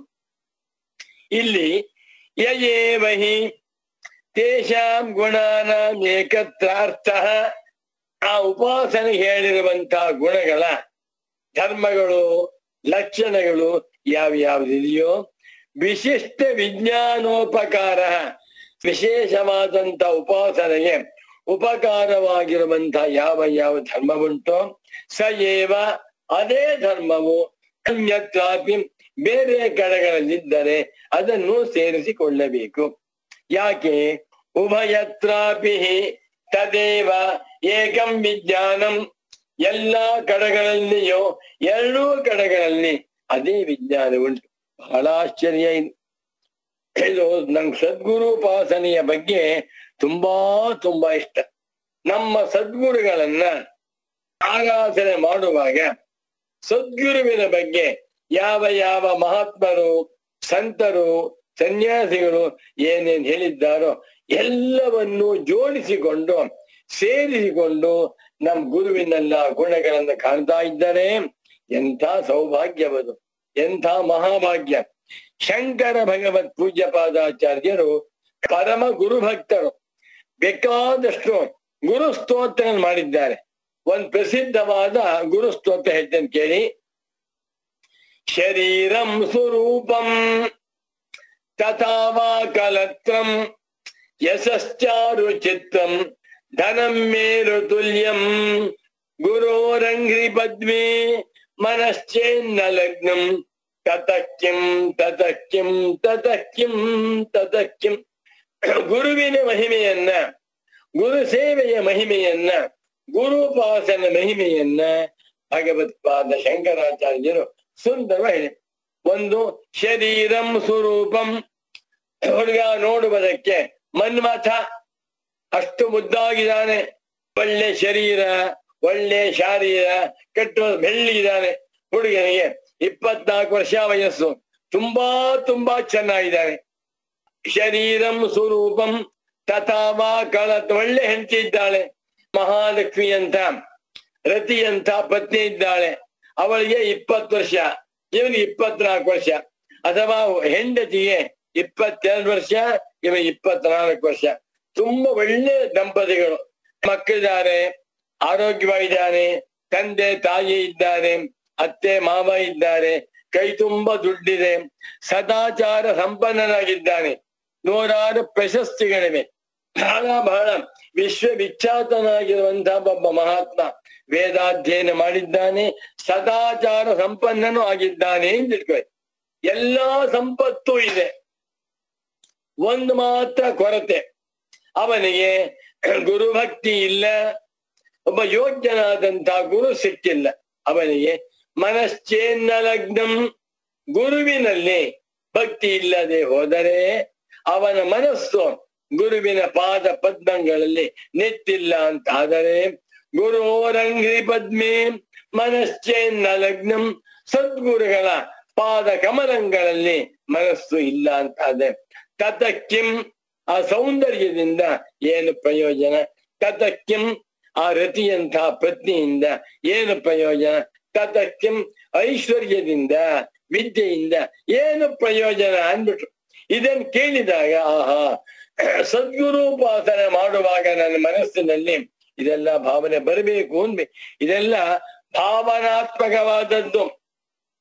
ಜಸ್ಟ್ ಮೆಂಟಲ್ ಸದ್ಗುರು ನಮ್ಮಂದೇ ಒಬ್ಬ ಮನುಷ್ಯ. ನಾನು ಬಹಳ ಬೆಳಗಿದ್ದೇನೆ. ನನ್ ಗುರು ಕಪ್ಪಿರಬಹುದು ನಾನು ಆರೋಗ್ಯವಾಗಿದ್ದೇನೆ. ನನ್ ಗುರು ರೋಗಿಷ್ಠನಾಗಿರ್ಬಹುದು ನಾನು ವಯಸ್ಸಿನಲ್ಲಿ ದೊಡ್ಡವನು. ನಂಗೆ ಅರವತ್ತು ವರ್ಷ. ನಮ್ ಗುರು ಇನ್ನು ಇಪ್ಪತ್ತ್ ಮೂರು ವರ್ಷ ಇರ್ಬಹುದು ಆದರೆ ಇದೆಲ್ಲವನ್ನು ಮರೆತು ಆ ಸದ್ಗುರುವಿನ ಪಾದ ಪದ್ಮಗಳಲ್ಲಿ ಅಪಾರವಾಗಿರುವ ಭಕ್ತಿ ಉಳ್ಳವನಾದರೆ ಅವನಿಗೆ ಎಲ್ಲಾ ಫಲಗಳು ದೊರಕುತ್ತವೆ ಅಂತ ಹೇಳ್ತಾರೆ ಈ ಎಲ್ಲ ಗುಣಧರ್ಮಗಳನ್ನು ಸೇರಿಸಿಕೊಂಡು ಉಪಾಸನೆ ಮಾಡುವವನಿಗೆ ಬ್ರಹ್ಮಜ್ಞಾನ ಖಂಡಿತ. ಆದ್ದರಿಂದ ಒಂದು ಉಪನಿಷತ್ತಿನಲ್ಲಿ ಒಂದು ಉಪಾಸನೆ ಹೇಳಿದ್ದಾರೆ, ಕೆಲವು ಗುಣಧರ್ಮ ಹೇಳಿದ್ದಾರೆ. ಇನ್ನೊಂದು ಉಪನಿಷತ್ತಿನಲ್ಲಿ ಅದೇ ಉಪಾಸನೆಯನ್ನು ಹೇಳಿ ಬೇರೆ ಗುಣಧರ್ಮ ಲಕ್ಷಣಗಳು ಹೇಳಿದ್ದಾರೆ, ಅವುಗಳನ್ನು ಸೇರಿಸಿಕೊಳ್ಳಬೇಕು. ಉಭಯತ್ರಾಪಿ ತದೇವ ಏಕಂ ವಿಜ್ಞಾನಂ ಹಿ ಏಕೆಂದರೆ ಉಭಯತ್ವ ಎರಡೂ ಕಡೆಗಳಲ್ಲಿ ಇಲ್ಲಿಯೂ ಅಲ್ಲಿಯೂ ಕೂಡ ತದೇವ ಏಕಂ ವಿಜ್ಞಾನಂ ಒಂದೇ ಒಂದು ವಿಜ್ಞಾನವನ್ನು ಹೇಳಿ. ಇದಕ್ಕೆ ಎಷ್ಟು ಉದಾಹರಣೆ ಕೊಡೋಣ. ಸಂಧ್ಯಾ ಬಂದರೆ ಒಂದ್ ಸಾಕು. ಸಂಧ್ಯಾ ವಂದನೆ ಎಂದನ್ನ ನಿಧಾನವಾಗಿ ಪ್ರತಿ ದಿವಸ ಒಂದ್ ಗಂಟೆ ಕಾಲ ಮಾಡ್ತಾ ಬಂದ್ಬಿಟ್ರೆ ಅವನಿಗೆ ಎಲ್ಲಾ ಸಂಪತ್ತು ಬಂದವ. ಸಂಧ್ಯಾ ವಂದನೆಯಲ್ಲಿ ಆರಾಧ್ಯ ದೇವತೆ ಸೂರ್ಯ ಭಗವಂತ. ತಸ್ಮಾದಾದ್ದರಿಂದ ಉಪಸಂಹಾರ ಕರ್ತವ್ಯ. ಗುಣಧರ್ಮಗಳನ್ನ ಉಪಸಂಹಾರ ಮಾಡಿಕೊಳ್ಳಬೇಕು. ಯಾವುದಂತೆ? ವಿಧಿಶೇಷವತಿ. ಒಳ್ಳೆ ಉದಾಹರಣೆ ಕೊಡ್ತೆ. ವಿಧಿಶೇಷದಂತೆ ವಿಧಿಗೆ ಶೇಷವಾಗಿರುವ ಕರ್ಮಗಳಂತೆ ಯಥಾ ನೋಡಿ, ಪೂರ್ವ ಮೀಮಾಂಸಾ ದರ್ಶನ. ಭಗವತ್ಪಾದ ಶಂಕರಾಚಾರ್ಯರವರು ಪೂರ್ವ ಮೀಮಾಂಸಾ ದರ್ಶನವನ್ನ ಸಂಪೂರ್ಣವಾಗಿ ತಿಳ್ಕೊಂಡಿದ್ದಾರೆ. ಆ ಸೂತ್ರಗಳು ಭಾಷ್ಯ, ಅನಂತರ ವಾರ್ತೆಗ, ಇದೆಲ್ಲವೂ ಕೂಡ ನನ್ನ ಪರಮ ಪೂಜ್ಯ ಸದ್ಗುರು ವರೇಣ್ಯರಾದ ಸದ್ಗುರುಗಳ ನಾಲ್ಗೆವೆ ನರ್ತನೆ ಮಾಡ್ತಾ ಇದ್ವು. ಅಷ್ಟಾನಂದ. ವಿಶೇಷದಂತೆ ಯಾರು ಮಾತಿದು? ಸೂತ್ರಕಾರರ ಮಾತು. ಏನ್ ಹಾಗಂದ್ರೆ ಯಥಾ ವಿಧಿಶೇಷಾಣ, ಅಗ್ನಿಹೋತ್ರಾದಿ ಧರ್ಮಾಣ. ವಿಧಿಗೆ ಅಧೀನವಾಗಿರುವ ಒಂದು ವಿಧಿ, ಒಂದು ಅಧೀನ. ವಿಧಿ ಅಂತಂದ್ರೆ ಮಾಡಬೇಕು. ಸ್ವರ್ಗ ಕಾಮೋ ಯಜೇತ. ಸ್ವರ್ಗವನ್ನ ಬಯಸುವಂಥವನು ಯಜೇತ. ಯಜ್ಞವನ್ನ ಮಾಡಬೇಕು. ಯಾಗ ಮಾಡಬೇಕು. ಯಾವ ಯಾಗವನ್ನು ಮಾಡಬೇಕು? ಜ್ಯೋತಿಷ್ಠೋಮ ಯಾಗವನ್ನ ಮಾಡಬೇಕು. ಜ್ಯೋತಿಷ್ಠೋಮೇನ ಸ್ವರ್ಗ ಕಾಮೋ ಯಜೇತ ಯಜೇತ ಎನ್ನುವಂತಹದ್ದು ವಿಧಿ. ಆ ವಿಧಿಗೆ ಅಧೀನವಾದದ್ದು ಶೇಷವಾದದ್ದು ಅಗ್ನಿಹೋತ್ರಾದಿ ಧರ್ಮಾಣ, ಅಗ್ನಿಹೋತ್ರಾನುಷ್ಠಾನವೇ ಮುಂತಾದ ಒಂದು ಅಗ್ನಿಹೋತ್ರಾನುಷ್ಠಾನ ಮಾಡಬೇಕು ಅಂತಂದ್ರೆ ಅದಕ್ಕೆ ಹೆಚ್ಚಿನ ಖರ್ಚಿಲ್ಲ. ಅಲ್ಲಿ ಬೇಕಾದದ್ದು ಶ್ರದ್ಧಾ. ಪ್ರತಿದಿನವೂ ಕೂಡ ಉದಿತೆ ಜುಹೋತಿ ಅಥವಾ ಅನುದಿತೆ ಜುಹೋತಿ. ಪ್ರಾರಂಭದಲ್ಲಿ ಅವನು ಸಿದ್ಧ ಸಂಕಲ್ಪ ಮಾಡ್ಕೊಳ್ಬೇಕು. ನಾ ಪ್ರತಿದಿನವೂ ಕೂಡ ಸೂರ್ಯ ಹುಟ್ಟುವುದಕ್ಕಿಂತ ಮುಂಚೆ ಆ ಹೊತ್ತಿಗೆ ಹಾಕ್ತೇನೆ. ಅಥವಾ ಸೂರ್ಯ ಉದಯವಾದ್ಮೆ ಹಾಕ್ತೇನೆ ಅಂತ ಮಾಡ್ಕೊಂಡು ಅದನ್ನ ಮಾಡ್ತಾ ಬರ್ಬೇಕು. ಸುಮ್ನೆ ಅಗ್ನಿಹೋತ್ರ ಅನುಷ್ಠಾನ ಮಾಡ್ತಾ ಇದ್ದ ಸ್ವರ್ಗಲೋಕವಲ್ಲ. ಅದರ ಜೊತೆಯಲ್ಲಿ ಅನೇಕ ವಿಶೇಷ ಅನುಷ್ಠಾನಗಳನ್ನು ಮಾಡ್ಬೇಕು. ಇದನ್ನ ಮುಂಡಕೋಪನಿಷತ್ ಹೇಳ್ತಾ ಇದೆ ನಮಗೆ. ಯಸ್ಯಾಗ್ನಿಹೋತ್ರಮದರ್ಶಮ ಪೌರ್ಣಮಾಸಂ ಅಚಾತುರ್ಮಾಸ್ಯ ಮನಾಗ್ರಯಣ ಮತಿವರ್ಜಿತಂಚ ಅಹುತಂ ಅವೈಶ್ವದೇವಂ ಅವಿಧಿನಾಹುತಂ ಆ ಸಪ್ತಮಾಂಸ್ತಸ್ಯ ಲೋಕಾನ್ಹಿನಸ್ತಿ. ಬಹಳ ದೊಡ್ಡ ವಿಚಾರ. ಅಗ್ನಿಹೋತ್ರಾನುಷ್ಠಾನವನ್ನು ಮಾಡುವಂತವನು ಎಲ್ಲವನ್ನೂ ಮಾಡಬೇಕು, ಪಟ್ಟಿ ಹಾಕಿದ್ದಾರೆ. ಇದನ್ನು ಮಾಡದೆ ಹೋದರೆ, ಆ ಅಗ್ನಿಹೋತ್ರಿ ಆ ಸಪ್ತಮಾನ್ ಲೋಕಾನ್, ತನ್ನ ಹಿಂದಿನ ಮೂರು ತಲೆ, ತಂದೆ, ಅಜ್ಜ, ಮುತ್ತಜ್ಜ, ಪಿತೃ, ಪಿತಾಮಹ ಪಿತಾಮಹ ಆಮೇಲೆ ತನ್ನ ಮಗ, ಮೊಮ್ಮಗ, ಮರಿಮಗ, ಆರಾಯ್ತು ಪ್ರಸ್ತಾನ ಈ ಏಳು ತಲೆಗಳನ್ನ ಹಿಂಸಿಸುತ್ತಾನೆ. ಯಾವಾಗ? ಅಗ್ನಿಹೋತ್ರಾನುಷ್ಠಾನ ಮಾಡುವಾಗ ಈ ಪರಿಕರಗಳನ್ನು ಮಾಡದೆ ಹೋದರೆ ಯಸ್ಯ ಅಗ್ನಿಹೋತ್ರಂ ಪಟ್ಟಿ ಹಾಕಿದ್ದಾರೆ ಆದ್ರಿಂದ ತುಂಬಾ ಕಷ್ಟ. ಯಾವುದೇ ಒಂದನ್ನು ಮಾಡಬೇಕಾದ್ರೆ ಶ್ರದ್ಧೆಯಿಂದ ಮಾಡ, ಇಪ್ಪತ್ತೆಂಟು ಉಪಾಸನೆ ಬೇಡ. ಒಂದು ಉಪಾಸನೆ ಮಾಡಿ, ಸಾಕು. ಇಪ್ಪತ್ತೆಂಟು ಕರ್ಮಾನುಷ್ಠಾನ ಬೇಡ. ಒಂದ್ ಕರ್ಮವನ್ನು ಮಾಡು. ಮಾಡುವಾಗ ಎಲ್ಲ ಪರಿಕರಗಳನ್ನು ಕೂಡಿಸ್ಕೊಂಡು ಮಾಡಿಬಿಟ್ಟೆ ಎಲ್ಲವೂ ಸೇರೋಗ್ಬಿಡುತ್ತೆ. ಹೇಗೆ? ವಿಧಿಗೆ ಶೇಷವಾಗಿರುವ ಅಗ್ನಿಹೋತ್ರವೇ ಮುಂತಾದವುಗಳ ಧರ್ಮಗಳು ಉಂಟು. ತದೇವ ಏಕಂ ಅಗ್ನಿಹೋತ್ರಾದಿ ಕರ್ಮ ಸರ್ವತ್ರ. ಅಗ್ನಿಹೋತ್ರ ಅಂತಂದಿದೆ. ಅಗ್ನಿಹೋತ್ರವನ್ನ ಬೇರೆ ಬೇರೆ ಕಡೆ, ಬೇರೆ ಬೇರೆ ತರ ಹೇಳಿರಬಹುದು ಎಲ್ಲವನ್ನು ಸೇರಿಸಿಕೊಂಡು ಅಗ್ನಿಹೋತ್ರ ಅನುಷ್ಠಾನ ಮಾಡುವವನಿಗೆ ಉತ್ತಮವಾದ ಫಲವಾಗುತ್ತದೆ. ಯಾಕೆ ಅಂತ ಹೇಳಿದ್ರೆ ಅರ್ಥಭೇದಾತ್ ಉಪಸಂಹಾರ ಅರ್ಥದಲ್ಲಿ ಭೇದವಿಲ್ಲ. ಇದು ಅಗ್ನಿಹೋತ್ರ ಅದು ಅಗ್ನಿಹೋತ್ರ ಅದು ಅಗ್ನಿ ಜಪ ಅಂತ ಹೇಳ್ತೇವೆ.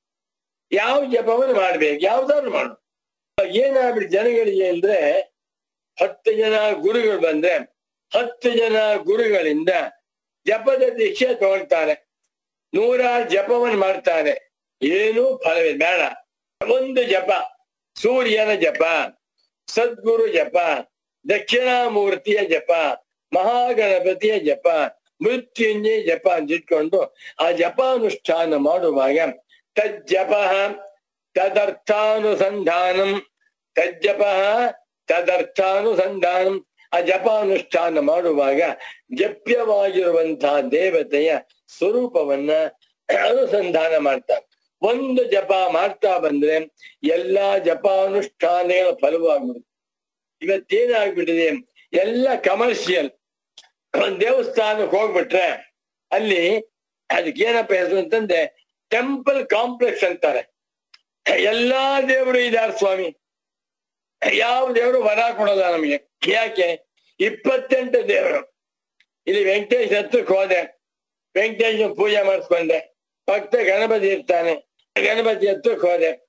ಗಣಪತಿ ಆದ್ಮೇಲೆ ಸುಬ್ರಹ್ಮಣ್ಯ, ಅಲ್ಲಿಂದ ಮಹಾಲಕ್ಷ್ಮಿ. ನೀವು ನೋಡ್ತಾ ಹೋದ್ರೆ ಏನ್ ಪ್ರಯೋಜನ?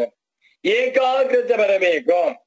ಕಾನ್ಸಂಟ್ರೇಷನ್ ಬರಬೇಕಾದರೆ ಒಬ್ಬ ಗುರು, ಒಂದು ಶಾಸ್ತ್ರ, ಒಂದು ದೇವತೆ, ಒಂದು ಮಂತ್ರ, ಒಂದು ಉಪಾಸನೆ, ಒಂದು ಜಪ ಅನುಷ್ಠಾನ ಸಾಕು.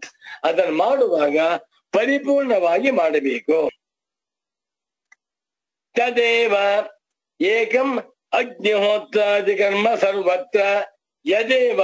ಅಗ್ನಿಹೋತ್ರ ಕರ್ಮ ಏಕತ್ವ ಏಕತ್ವೀತಂ ತದೇವ ಅಗ್ನಿಹೋತ್ರಾದಿಕಂ ಕರ್ಮ ಅನ್ಯತ್ರಾಪಿ ಭೀತಂ ಆದ್ದರಿಂದ ಅರ್ಥ ಭೇದಾತ್ ಇದು ಅಗ್ನಿಹೋತ್ರ, ಅದು ಅಗ್ನಿಹೋತ್ರ. ಯಾವ ಅರ್ಥದಲ್ಲಿ? ಭೇದವೂ ಇಲ್ಲದ್ದರಿಂದ ಉಪಸಂಹಾರವನ್ನ ಮಾಡಿಕೊಳ್ಳಬೇಕೋ? ಏವಮೇವ ಅದೇ ರೀತಿಯಲ್ಲಿ ಅತ್ರಾಪಿ ಇಲ್ಲಿಯೂ ಕೂಡ ಉಪಾಸನಾ ವಿಷಯದಲ್ಲಿ ಎಲ್ಲವನ್ನು ಸೇರಿಸ್ಕೊಂಡು ಯಾರಿಗೂ ಗೊತ್ತಿಲ್ಲ. ಇವಾಗ ಏನಾಗ್ಬಿಟ್ಟಿದೆ ಅಂದ್ರೆ ಯಾರಿಗೂ ಉಪಾಸನಾ ರಹಸ್ಯ ಅರ್ಥವಾಗಿಲ್ಲ.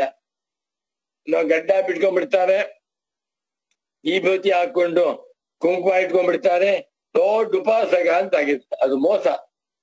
ಉಪಾಸಕನು ಯಾವತ್ತಿಗೂ ಕೂಡ ಪ್ರದರ್ಶನ ಪರನಾಗಿರಬಾರದು ಉಪಾಸ್ಯ ದೇವತೆಯನ್ನ ಇಪ್ಪತ್ನಾಲ್ಕು ಗಂಟೆಗಳ ಕಾಲ ಅನುಸಂಧಾನ ಮಾಡುತ್ತಾ ತೈಲ ಧಾರಾವತಿ ಉಪಾಸನೆ ಮಾಡ್ತಾ ಇದ್ದರೆ ಅದು ನಿಜವಾದ ಉಪಾಸನೆ ಆಗುತ್ತೆ.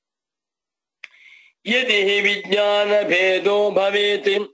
ಉಪಾಸನೆಯಲ್ಲಿ ಭೇದವಿದ್ದಿದ್ದರೆ ಇಲ್ಲೊಂದು ಉಪಾಸನೆ, ಅಲ್ಲೊಂದು ಉಪಾಸನೆ ಅಂತ ಬೇರೆ ಬೇರೆ ಉಪಾಸನೆಗಳಾಗಿ ಬಿಟ್ರೆ ಆಗ ಗುಣೋಪಸಂಹಾರವನ್ನ ಮಾಡಿಕೊಳ್ಳಬಾರದು. ಒಂದು ಸೂರ್ಯೋಪಾಸನೆ, ಮತ್ತೊಂದು ಗುರು ಉಪಾಸನೆ ಮತ್ತೊಂದು ಗಾಯತ್ರಿ ಉಪಾಸನೆ ಅಂತ ಆದ್ರೆ ಅದಕ್ಕೂ ಇದಕ್ಕೂ ಸಂಬಂಧವಿಲ್ಲ.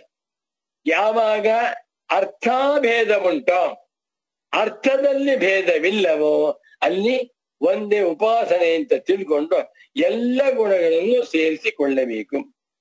ಯದಿಹಿ ವಿಜ್ಞಾನ ಭೇದೋ ಭವೇತೆ.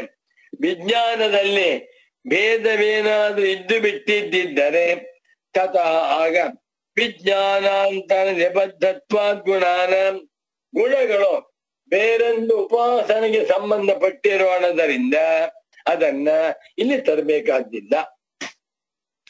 ಪ್ರಕೃತಿ, ವಿಕೃತಿ, ಭಾವ ಭಾವ ಚ ನ ಸ್ಯಾದುಪಸಂಹಾರ ಪ್ರಕೃತಿ, ವಿಕೃತಿ, ಭಾವವಿಲ್ಲದ್ದರಿಂದ ಅಲ್ಲಿ ಉಪಸಂಹಾರವನ್ನ ಮಾಡಿಕೊಳ್ಳಬಾರದು. ಪ್ರಕೃತಿ ವಿಕೃತಿ ಭಾವ ಅಭಾವ. ಬಹಳ ಚೆನ್ನ ಪ್ರಕೃತಿ ಮುಖ್ಯವಾದದ್ದು. ವಿಕೃತಿ ಅದರ ಕಾರ್ಯ. ಪ್ರಕೃತಿ ವಿಕೃತಿಗಳಿಲ್ಲ ಅಂತ ಆಗ್ಬಿಟ್ರೆ, ಈ ಉಪಾಸನೆಯಲ್ಲಿ ಅದಕ್ಕೂ ಇದಕ್ಕೂ ಸಂಬಂಧವಿಲ್ಲ ಅಂತ ಆಗ್ಬಿಟ್ರೆ, ಆಗ ಆ ಗುಣಗಳನ್ನ ಇಲ್ಲಿ ಉಪಸಂಹಾರ ಮಾಡಿಕೊಳ್ಳಬೇಕಾಗಿಲ್ಲ. ಒಂದು ಉದಾಹರಣೆ, ಒಂದು ಆಗ್ನೇಯ ಕರ್ಮ, ಇನ್ನೊಂದು ಸೌರ್ಯ ಕರ್ಮ. ಅಗ್ನಿಗೆ ಸಂಬಂಧಪಟ್ಟದ್ದು ಒಂದು ಸೂರ್ಯನಿಗೆ ಸಂಬಂಧಪಟ್ಟದ್ದು ಒಂದು. ಎರಡೂ ಬೇರೆ ಬೇರೆ. ಇಲ್ಲಿ ಬೇರೆ ಬೇರೆ ಆಗಿದ್ದರೂ ಸೌರ್ಯ ಕರ್ಮವು ವಿಕೃತಿ ಆಗ್ನೇಯ ಕರ್ಮವು ಪ್ರಕೃತಿ ಅಂತ ಹೇಳ್ತಾರೆ. ಆಗ ಆಗ್ನೇಯದ ವಿಧಿ, ಇತಿ ಕರ್ತವ್ಯತ, ಎಲ್ಲವೂ ಕೂಡ ಸೌರ್ಯ ಕರ್ಮಕ್ಕೂ ಬರುತ್ತದೆ. ಯಾಕೆ?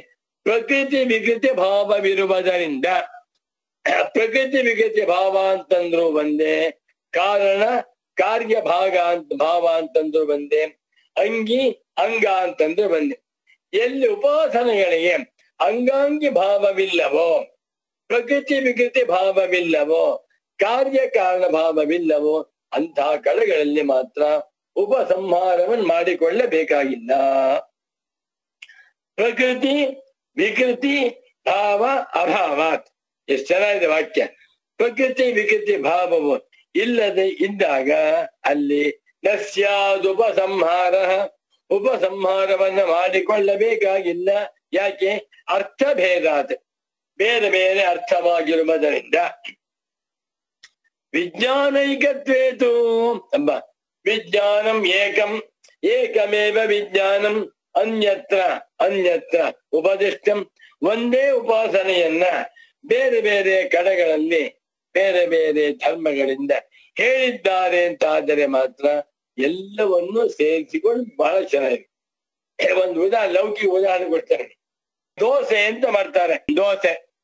ಇವಾಗ ದೋಸೆಯಲ್ಲಿ ನೂರಾರು ತರಹ ಇದೆಯಂತೆ. ಬಹಳ ಸಂತೋಷ.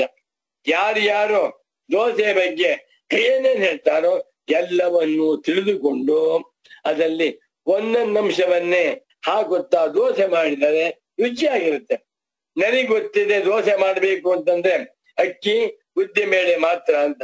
ಇನ್ನೊಬ್ರು ಹೇಳ್ತಾರೆ ಉದ್ದಿಮೇಳೆ ಜೊತೆಗೆ ಒಂದು ನಾಲ್ಕು ಕಾಳು ಮೆಣಸಿನ ಹಾಕಿ ಚೆನ್ನಾಗಿರುತ್ತೆ ಅಂತಾರೆ. ಇನ್ನೊಬ್ರು ಹೇಳ್ತಾರೆ, ದೋಸೆ ಮಾಡುವಾಗ ಅದ್ರ ಜೊತೆಗೆ ಒಂದ್ ನಾಲ್ಕು ಕಾಳು ಹೆಸರು ಬೇಳೆ ಹಾಕ್ಬೋದು. ಇನ್ನೊಂದ್ ನಾಲ್ಕು ಕಾಳು ತೊಲಿ ಬೇಳೆ ಹಾಕಿ, ಸ್ವಲ್ಪ ಅವಲಕ್ಕಿ ಹಾಕಿ ಸೀಮೆ ಅಕ್ಕಿ ಅಂತ ಹೇಳ್ತಾರೆ. ದೋಸೆ ಪ್ರಕರಣದಲ್ಲಿ ಯಾರ್ಯಾರು ಏನೇನ್ ಹೇಳಿ ತಿಂದು ಸಂತೋಷ ಪಟ್ಟಿದ್ದಾರೋ ರುಚಿಯಾಗಿದೆ ಅಂತ ಹೇಳಿದ್ದಾರೋ, ಅದೆಲ್ಲವನ್ನು ಸೇರಿಸಿಕೊಂಡು ದಿನ ಒಂದೊಂದ್ ತರಹ ಮಾಡ್ತಾ ಬಂದ್ರೆ ಒಂದೊಂದು ರುಚಿ ಇರುತ್ತಲ್ಲ ಏನ್ ತಪ್ಪಿಲ್ಲ. ಆದರೆ ದೋಸೆ ಪ್ರಕರಣವಲ್ಲದೆ ಮೈಸೂರು ಪಾಕ್ ಮಾಡುವಾಗ ಅದು ತುಪ್ಪ ಹಾಕ್ಬೇಕು ಅಂತಾರೆ ಕಡಲೆ ಹಾಕ್ಬೇಕು ಅಂತಾರೆ, ಅಥವಾ ಮತ್ತೊಂದು ಹಾಕ್ಬೇಕು ಸಕ್ಕರೆ ಹಾಕ್ಬೇಕು ಅಂತಾರೆ. ಅದನ್ನ ದೋಸೆಗೆ ತರಬಾರ್ದು. ದೋಸೆ ಪ್ರಕರಣದಲ್ಲಿ ದೋಸೆಯ ಬಗ್ಗೆ ಯಾರ್ಯಾರು ಏನೇನ್ ಹೇಳಿದ್ದಾರೋ ಎಲ್ಲವನ್ನು ತೆಗೆದುಕೊಂಡು ಒಂದು ಹೋಟ್ಲು. ದೋಸೆ ಸ್ಪೆಷಲ್ ಅನ್ನು ಮಾಡಿಬಿಟ್ರೆ ಸಾವಿರಾರು ಜನ ಬರ್ತಾ ತಿನ್ಕೊಂಡು ಹೋಗ್ತಾ ಇರ್ತಾರೆ. ಆದ್ದರಿಂದ ವಿಜ್ಞಾನ ಏಕತ್ವೇ ಸತಿ, ಉಪಸಂಹಾರ ಕರ್ತವ್ಯ. ವಿಜ್ಞಾನ ಅನೇಕತ್ವೇ ಸತಿ, ವಿಜ್ಞಾನ ಭಿನ್ನತ್ವೇ ಸತಿ, ಉಪಸಂಹಾರೋ ನ ಕರ್ತವ್ಯ ಅಂದ್ಬಿಟ್ರು. ಅಸ್ಯೈವತು ಪ್ರಯೋಜನ ಸೂತ್ರಸ್ಯ. ಪ್ರಪಂಚ ಸರ್ವಾಭೇದಾತ್ ಇತ್ಯಾರಭ್ಯ ಭವಿಷ್ಯತಿ. ಮುಂದೆ ಇನ್ನು ಹೇಳ್ತಾ ಇಷ್ಟ ಹೇಳಿದ್ದೇವೆ ಇಲ್ಲಿ. ಮುಂದಿನ ಭಾಗದಲ್ಲಿ ಈಗ ಉಪಾಸನೆ ಮಾಡಿದವರಿಗೆ ಏನ್ ಫಲವಾಗುತ್ತೆ ಎನ್ನುವುದನ್ನು ಹೇಳ್ತೇವೆ. ಎಷ್ಟು ಮುಖ್ಯವಾದ್ದು ಯಾವುದೇ ಒಂದು ಕರ್ಮವನ್ನಾಗಲಿ, ಉಪಾಸನೆಯನ್ನಾಗಲಿ ಮಾಡುವಾಗ ಸರಿಯಾಗಿ ಮಾಡಿದರೆ ಪರಿಪೂರ್ಣವಾಗಿ ಮಾಡಿದರೆ ಎಲ್ಲ ಗುಣಧರ್ಮಗಳನ್ನು ಸೇರಿಸಿಕೊಂಡು ಮಾಡಿದರೆ ಅದರಿಂದ ಅದ್ಭುತವಾದ ಫಲವಾಗುತ್ತೆ. ಇದನ್ನು ಹೇಳುವಾಗ ನನ್ನ ಪರಮ ಪೂಜ್ಯ ಸದ್ಗುರು ವರೇಣ್ಯರು ಒಳ್ಳೆ ಉದಾಹರಣೆ ಕೊಟ್ಟರು ಹತ್ತು ಜನ ಶಿವನ ಆರಾಧನೆ ಮಾಡ್ತಾ ಇದ್ದಾರೆ. ಒಬ್ಬ ಓಂ ನಮ ಶಿವಾಯ ಅನ್ನುವಂತ ಜಪಾನುಷ್ಠಾನ ಮಾಡುತ್ತಾ ಅಷ್ಟರಲ್ಲೇ ಇದ್ದಾನೆ. ಇನ್ನೊಬ್ಬ ವೇದ ಪ್ರತಿಪಾದ್ಯನಾದಂತಹ ಶಿವನನ್ನ ವೇದ ಮಂತ್ರಗಳನ್ನ ಆರಾಧನೆ ಮಾಡ್ತಾ ಇದ್ದಾನೆ ನಮಸ್ತೆ ಅಸ್ತು ಭಗವನ್ ವಿಶ್ವೇಶ್ವರಾಯ, ಮಹಾದೇವಾಯ, ತ್ರಯಂಬಕಾಯ, ತ್ರಿಪುರಾಂತಕಾಯ ತ್ರಿಗಾಗ್ನಿಕಾಲಾಯ ಕಾಲಾಗ್ನಿ ರುದ್ರಾಯ ನೀಲಕಂಠಾಯ, ಮೃತ್ಯುಂಜಯಾಯ, ಸರ್ವೇಶ್ವರಾಯ, ಸದಾಶಿವಾಯ, ಶಂಕರಾಯ ಶ್ರೀಮನ್ ಮಹಾದೇವಾಯ. ಹನ್ನೊಂದು ವಿಶೇಷಣಗಳಿಂದ ಕೂಡಿದಂತಹ ಶಿವನನ್ನು ಉಪಾಸನೆ ಮಾಡ್ತಾ ಇದ್ದಾರೆ. ಇವನಿಗೆ, ಅವನಿಗಿಂತ ಜಾಸ್ತಿ ಬಲವಾಗುತ್ತೆ. ಮೂರು ಏನಿದ್ದಾನೆ ತ್ರಿಯಂಬಕಂ ಯಜಾಮಹೇ ಸುಗಂಧಿಂ ಪುಷ್ಟಿವರ್ಧನಂ ಉರ್ವಾರುಕಮಿವ ಬಂಧನ ಮೃತ್ಯೋರ್ಮುಚ್ಚೀಯ ಮಾಮೃತಾತ್ ಅದನ್ನು ಉಪಾಸನೆ ಮಾಡ್ತಾ ಇದ್ದಾರೆ. ಹೀಗೆ ಬೇರೆ ಬೇರೆ ಶಿವೋಪಾಸಕರು, ಒಬ್ಬನೇ ಶಿವನನ್ನ ತಮ ತಮಗೆ ತಿಳಿದಿರುವಂತಹ ಗುಣಧರ್ಮಗಳಿಂದ ಉಪಾಸನೆ ಮಾಡ್ತಾ ಹೋದರೆ ಮೊದಲನೆಯವರಿಗೆ ಒಂದು ಫಲವಾಯಿತು. ಎರಡನೇ ಜಾಸ್ತಿ ಫಲವಾಯಿತು. ಇನ್ನು ಯಾರು ಶಿವ ರಹಸ್ಯವನ್ನ ಅರ್ಥ ಮಾಡಿಕೊಂಡು ಸಾಕ್ಷಾತ್ ಪರಮಶಿವನನ್ನ ಬ್ರಹ್ಮಾತ್ ಉಪಾಸನೆ ಮಾಡ್ತಾ ಇದ್ದಾನೆಯೋ? ಶಾಂತಂ ಶಿವಮದ್ವೈತಂ ಅದ್ವೈತ ಸ್ವರೂಪವಾಗಿರುವ ಪರಬ್ರಹ್ಮವೇ ಶಿವ, ಆ ಶಿವನೇ ನಾನು ಅಂತ ತಿಳ್ಕೊತಾ ಇದ್ದಾನೋ? ಅವನು ತುರಿಯಂ ಪದಮಷ್ಟು ಅಂತ ಹೇಳ್ತಾ ಇದ್ರು. ಹಾಗೆ ಹೇಳ್ತಾ ಶಂಕರಾಚಾರ್ಯರು ಫಲದ ವಿಷಯವನ್ನ ಮುಂದಿನ ಐದನೇ ಅಧಿಕರಣದಲ್ಲಿ. ಸರ್ವಾಭೇದಾದನ್ಯತ್ರೇಮೇ ಎನ್ನುವಂತ ಅಧಿಕರಣದಲ್ಲಿ ಸೂತ್ರಕಾರರಾದ ಭಗವಾನ್ ಬಾದರಾಯಣಾಚಾರ್ಯ ಹೇಳಿದ್ದಾರೆ. ನಾವು ಕೂಡ ಅಲ್ಲಿ ವಿಶೇಷವಾಗಿ ತಿಳಿಸ್ಕೊಡ್ತೇವೆ ಎಂದು. ಅಸ್ಯೈವತು ಪ್ರಯೋಜನ ಸೂತ್ರಸ್ಯ ಪ್ರಪಂಚ ಉಪಾಸನೆಗೆ ವಿಶೇಷ ಪ್ರಯೋಜನವೇನು ಎನ್ನುವುದನ್ನ ಮುಂದಿನ ಭಾಗದಲ್ಲಿ ಹೇಳ್ತೇವೆ ಎಂದ್ಬಿಟ್ಟು ಸರ್ವಾಭೇದ ಇತ್ಯಾರಭ್ಯ ಭವಿಷ್ಯತಿ ಆದ್ದರಿಂದ ಉಪಾಸನೆಗಳಿಗೆ ಸಿಗ್ನಿಫಿಕೆನ್ಸ್ ಇದೆ। ಯದ್ಯಪಿ ಬರೀ ಉಪಾಸನೆಗಳಿಂದ ಮೋಕ್ಷವಾಗುವುದಿಲ್ಲ ದಿಟ, ಉಪಾಸನೆಗಳಿಂದ ಪರಿಚ್ಛಿನ್ನವಾದ ಫಲವಾಗತ್ತೆ ದಿಟ।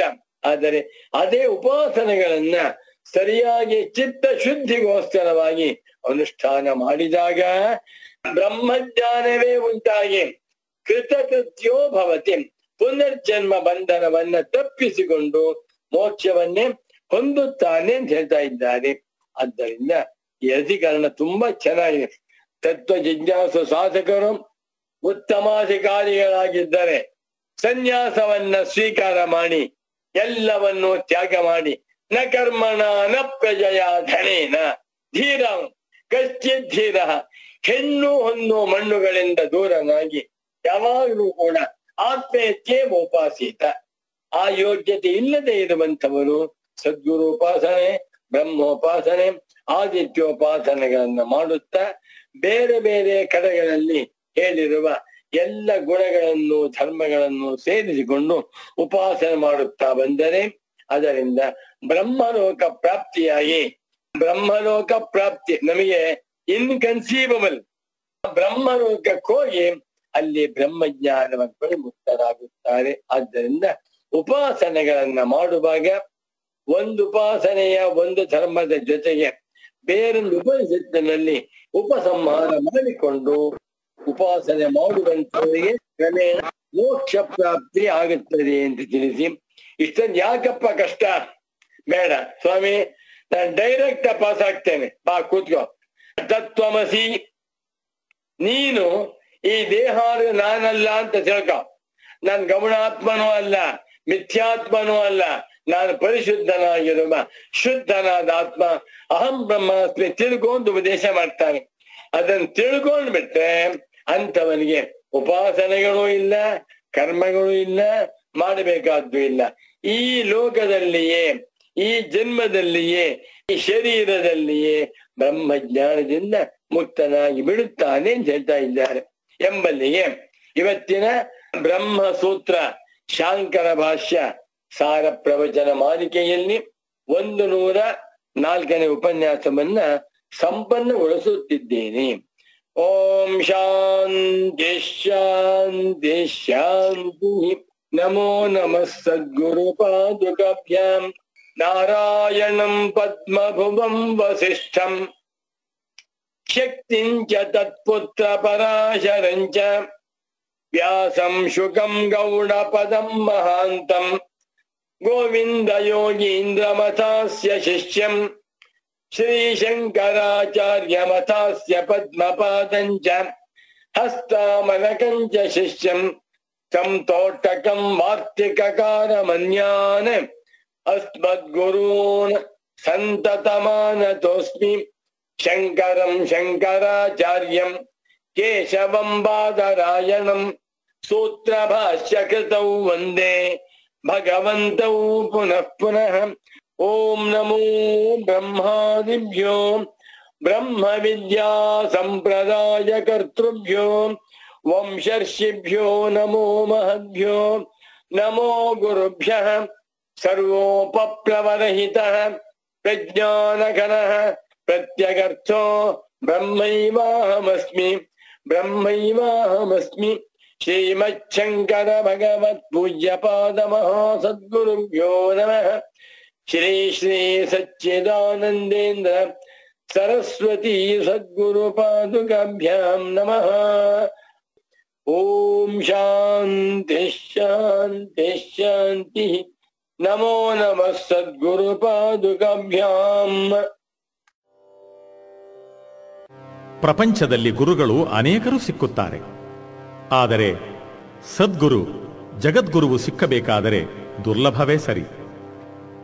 ಅನೇಕ ಜನ್ಮ ಸಂಪ್ರಾಪ್ತ ಕರ್ಮಬಂಧ ವಿದಾಹಿನೇ. ಆತ್ಮವಿದ್ಯಾಪ್ರದಾನೇನ ತಸ್ಮೈ ಶ್ರೀ ಗುರವೇ ನಮಃ ಎನ್ನುವಂತೆ ಆತ್ಮವಿದ್ಯೆ ಅಂದರೆ ಬ್ರಹ್ಮವಿದ್ಯೆಯನ್ನು ತಿಳಿಸಿ ನಮ್ಮೆಲ್ಲರನ್ನೂ ಅನುಭವದಲ್ಲಿ ನೆಲೆಗೊಳಿಸುವಾತನೇ ಸದ್ಗುರು. ಸದ್ಗುರುವು ಮಾನಸಿಕವಾಗಿ ದ್ವಂದ್ವಾತೀತ. ಪರಾಶಾಂತಿ ಎಂಬ ಆಭರಣವುಳ್ಳವ. ಕೃತಕೃತ್ಯ ಭಗವಾನ್ ಶಂಕರರನ್ನು ಈ ಹಾಡಿನಲ್ಲಿ ಪ್ರಸ್ಥಾನತ್ರಯ ಭಾಷ್ಯವೆಂಬ ಅದ್ಭುತ ಕೃತಿಯನ್ನು ರಚಿಸಿರುವ ಕುಶಲಿ ಎಂದು ಬಣ್ಣಿಸಿದ್ದಾರೆ. ಕೃಷ್ಣ ಯಜುರ್ವೇದಕ್ಕೆ ಸೇರಿರುವ ಕಠೋಪನಿಷತ್ತು ಕೂಡ ಶ್ರವಣಾಯಾಪಿ ಬಹುಭಿರ್ಯೋ ನ ಲಭ್ಯ, ಶೃಣ್ವಂತೋಪಿ ಬಹವೋಯಂ ನ ವಿದ್ಯುಃ ಆಶ್ಚರ್ಯೋ ವಕ್ತ ಕುಶಲೋಸ್ಯ ಲಬ್ಧ, ಆಶ್ಚರ್ಯೋ ಜ್ಞಾತ ಕುಶಲಾನುಶಿಷ್ಟ ಎಂದು ಸಾರುತ್ತಿದೆ. ಈಗ ಕೇಳೋಣ, ಗೆಲವು ಶ್ರೀ ಗುರುರಾಯ.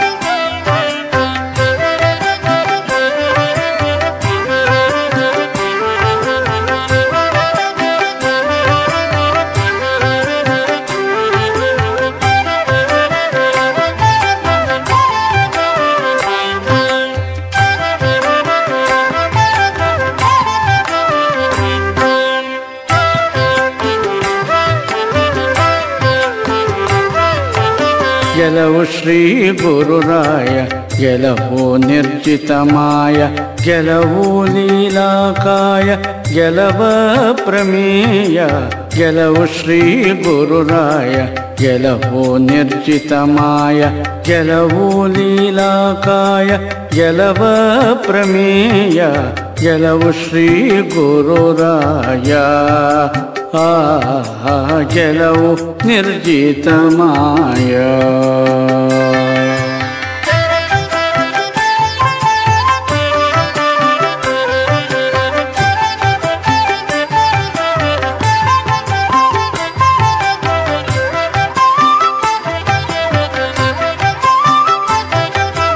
ಗೆಲವು ನಿರ್ಗುಣ ಸಗುಣಗಳನ್ನು ಮೀರಿದ ಜಾಣ. ಗೆಲವು ನಿರ್ಗುಣ ಸಗುಣಗಳನ್ನು ಮೀರಿದ ಜಾಣ. ಗೆಲವು ಶಾಂತ್ಯಾಭರಣ, ಶಿವಗುರು ಪ್ರಾಣ. ಗೆಲವು ಶಾಂತ್ಯಾಭರಣ, ಶಿವಗುರು ಪ್ರಾಣ. ಗೆಲವು ಬ್ರಹ್ಮಾನಂದ, ಜಲಧಿಯೊಳು ಮಿಗೆ ಮಿಂದ. ಜಲವು ಬ್ರಹ್ಮಾನಂದ ಜಲಧಿಯೊಳು ಮಿಗೆ ಮಿಂದ ಜಲವು ಗುರು ಗೋವಿಂದರ ಒಲುಮೆಯೂ ಕಂದ. ಜಲವು ಗುರು ಗೋವಿಂದರ ಒಲುಮೆಯೂ ಕಂದ. जलव श्री गुरुराय जलभो निर्जितमाय जलवलीलाकाय जलभप्रमेय जलवश्री श्रीगुरुराय जलवो निर्जितमाय जलवो लीलाकाय जलवप्रमेय जलव श्रीगोरोराय हा जलव निर्जितमाय।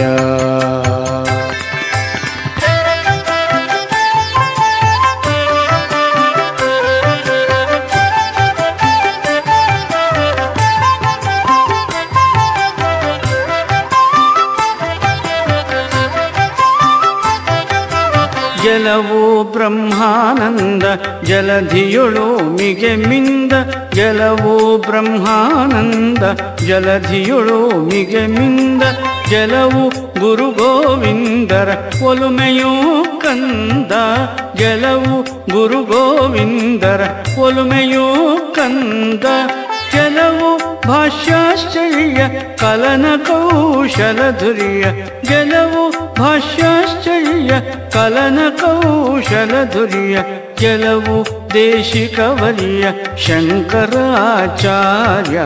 जलवो देशिकवलिय शंकराचार्य। जलौ श्री गुरुराय जलभो निर्जितमाय जलवोलीलाकाय जलबप्रमेया जलौ श्री गुरुराय जलवो निर्जितमाय जलवूलीलाकाय जलबप्रमेया जलौ श्रीगुरुराय जलौ निर्जितमाय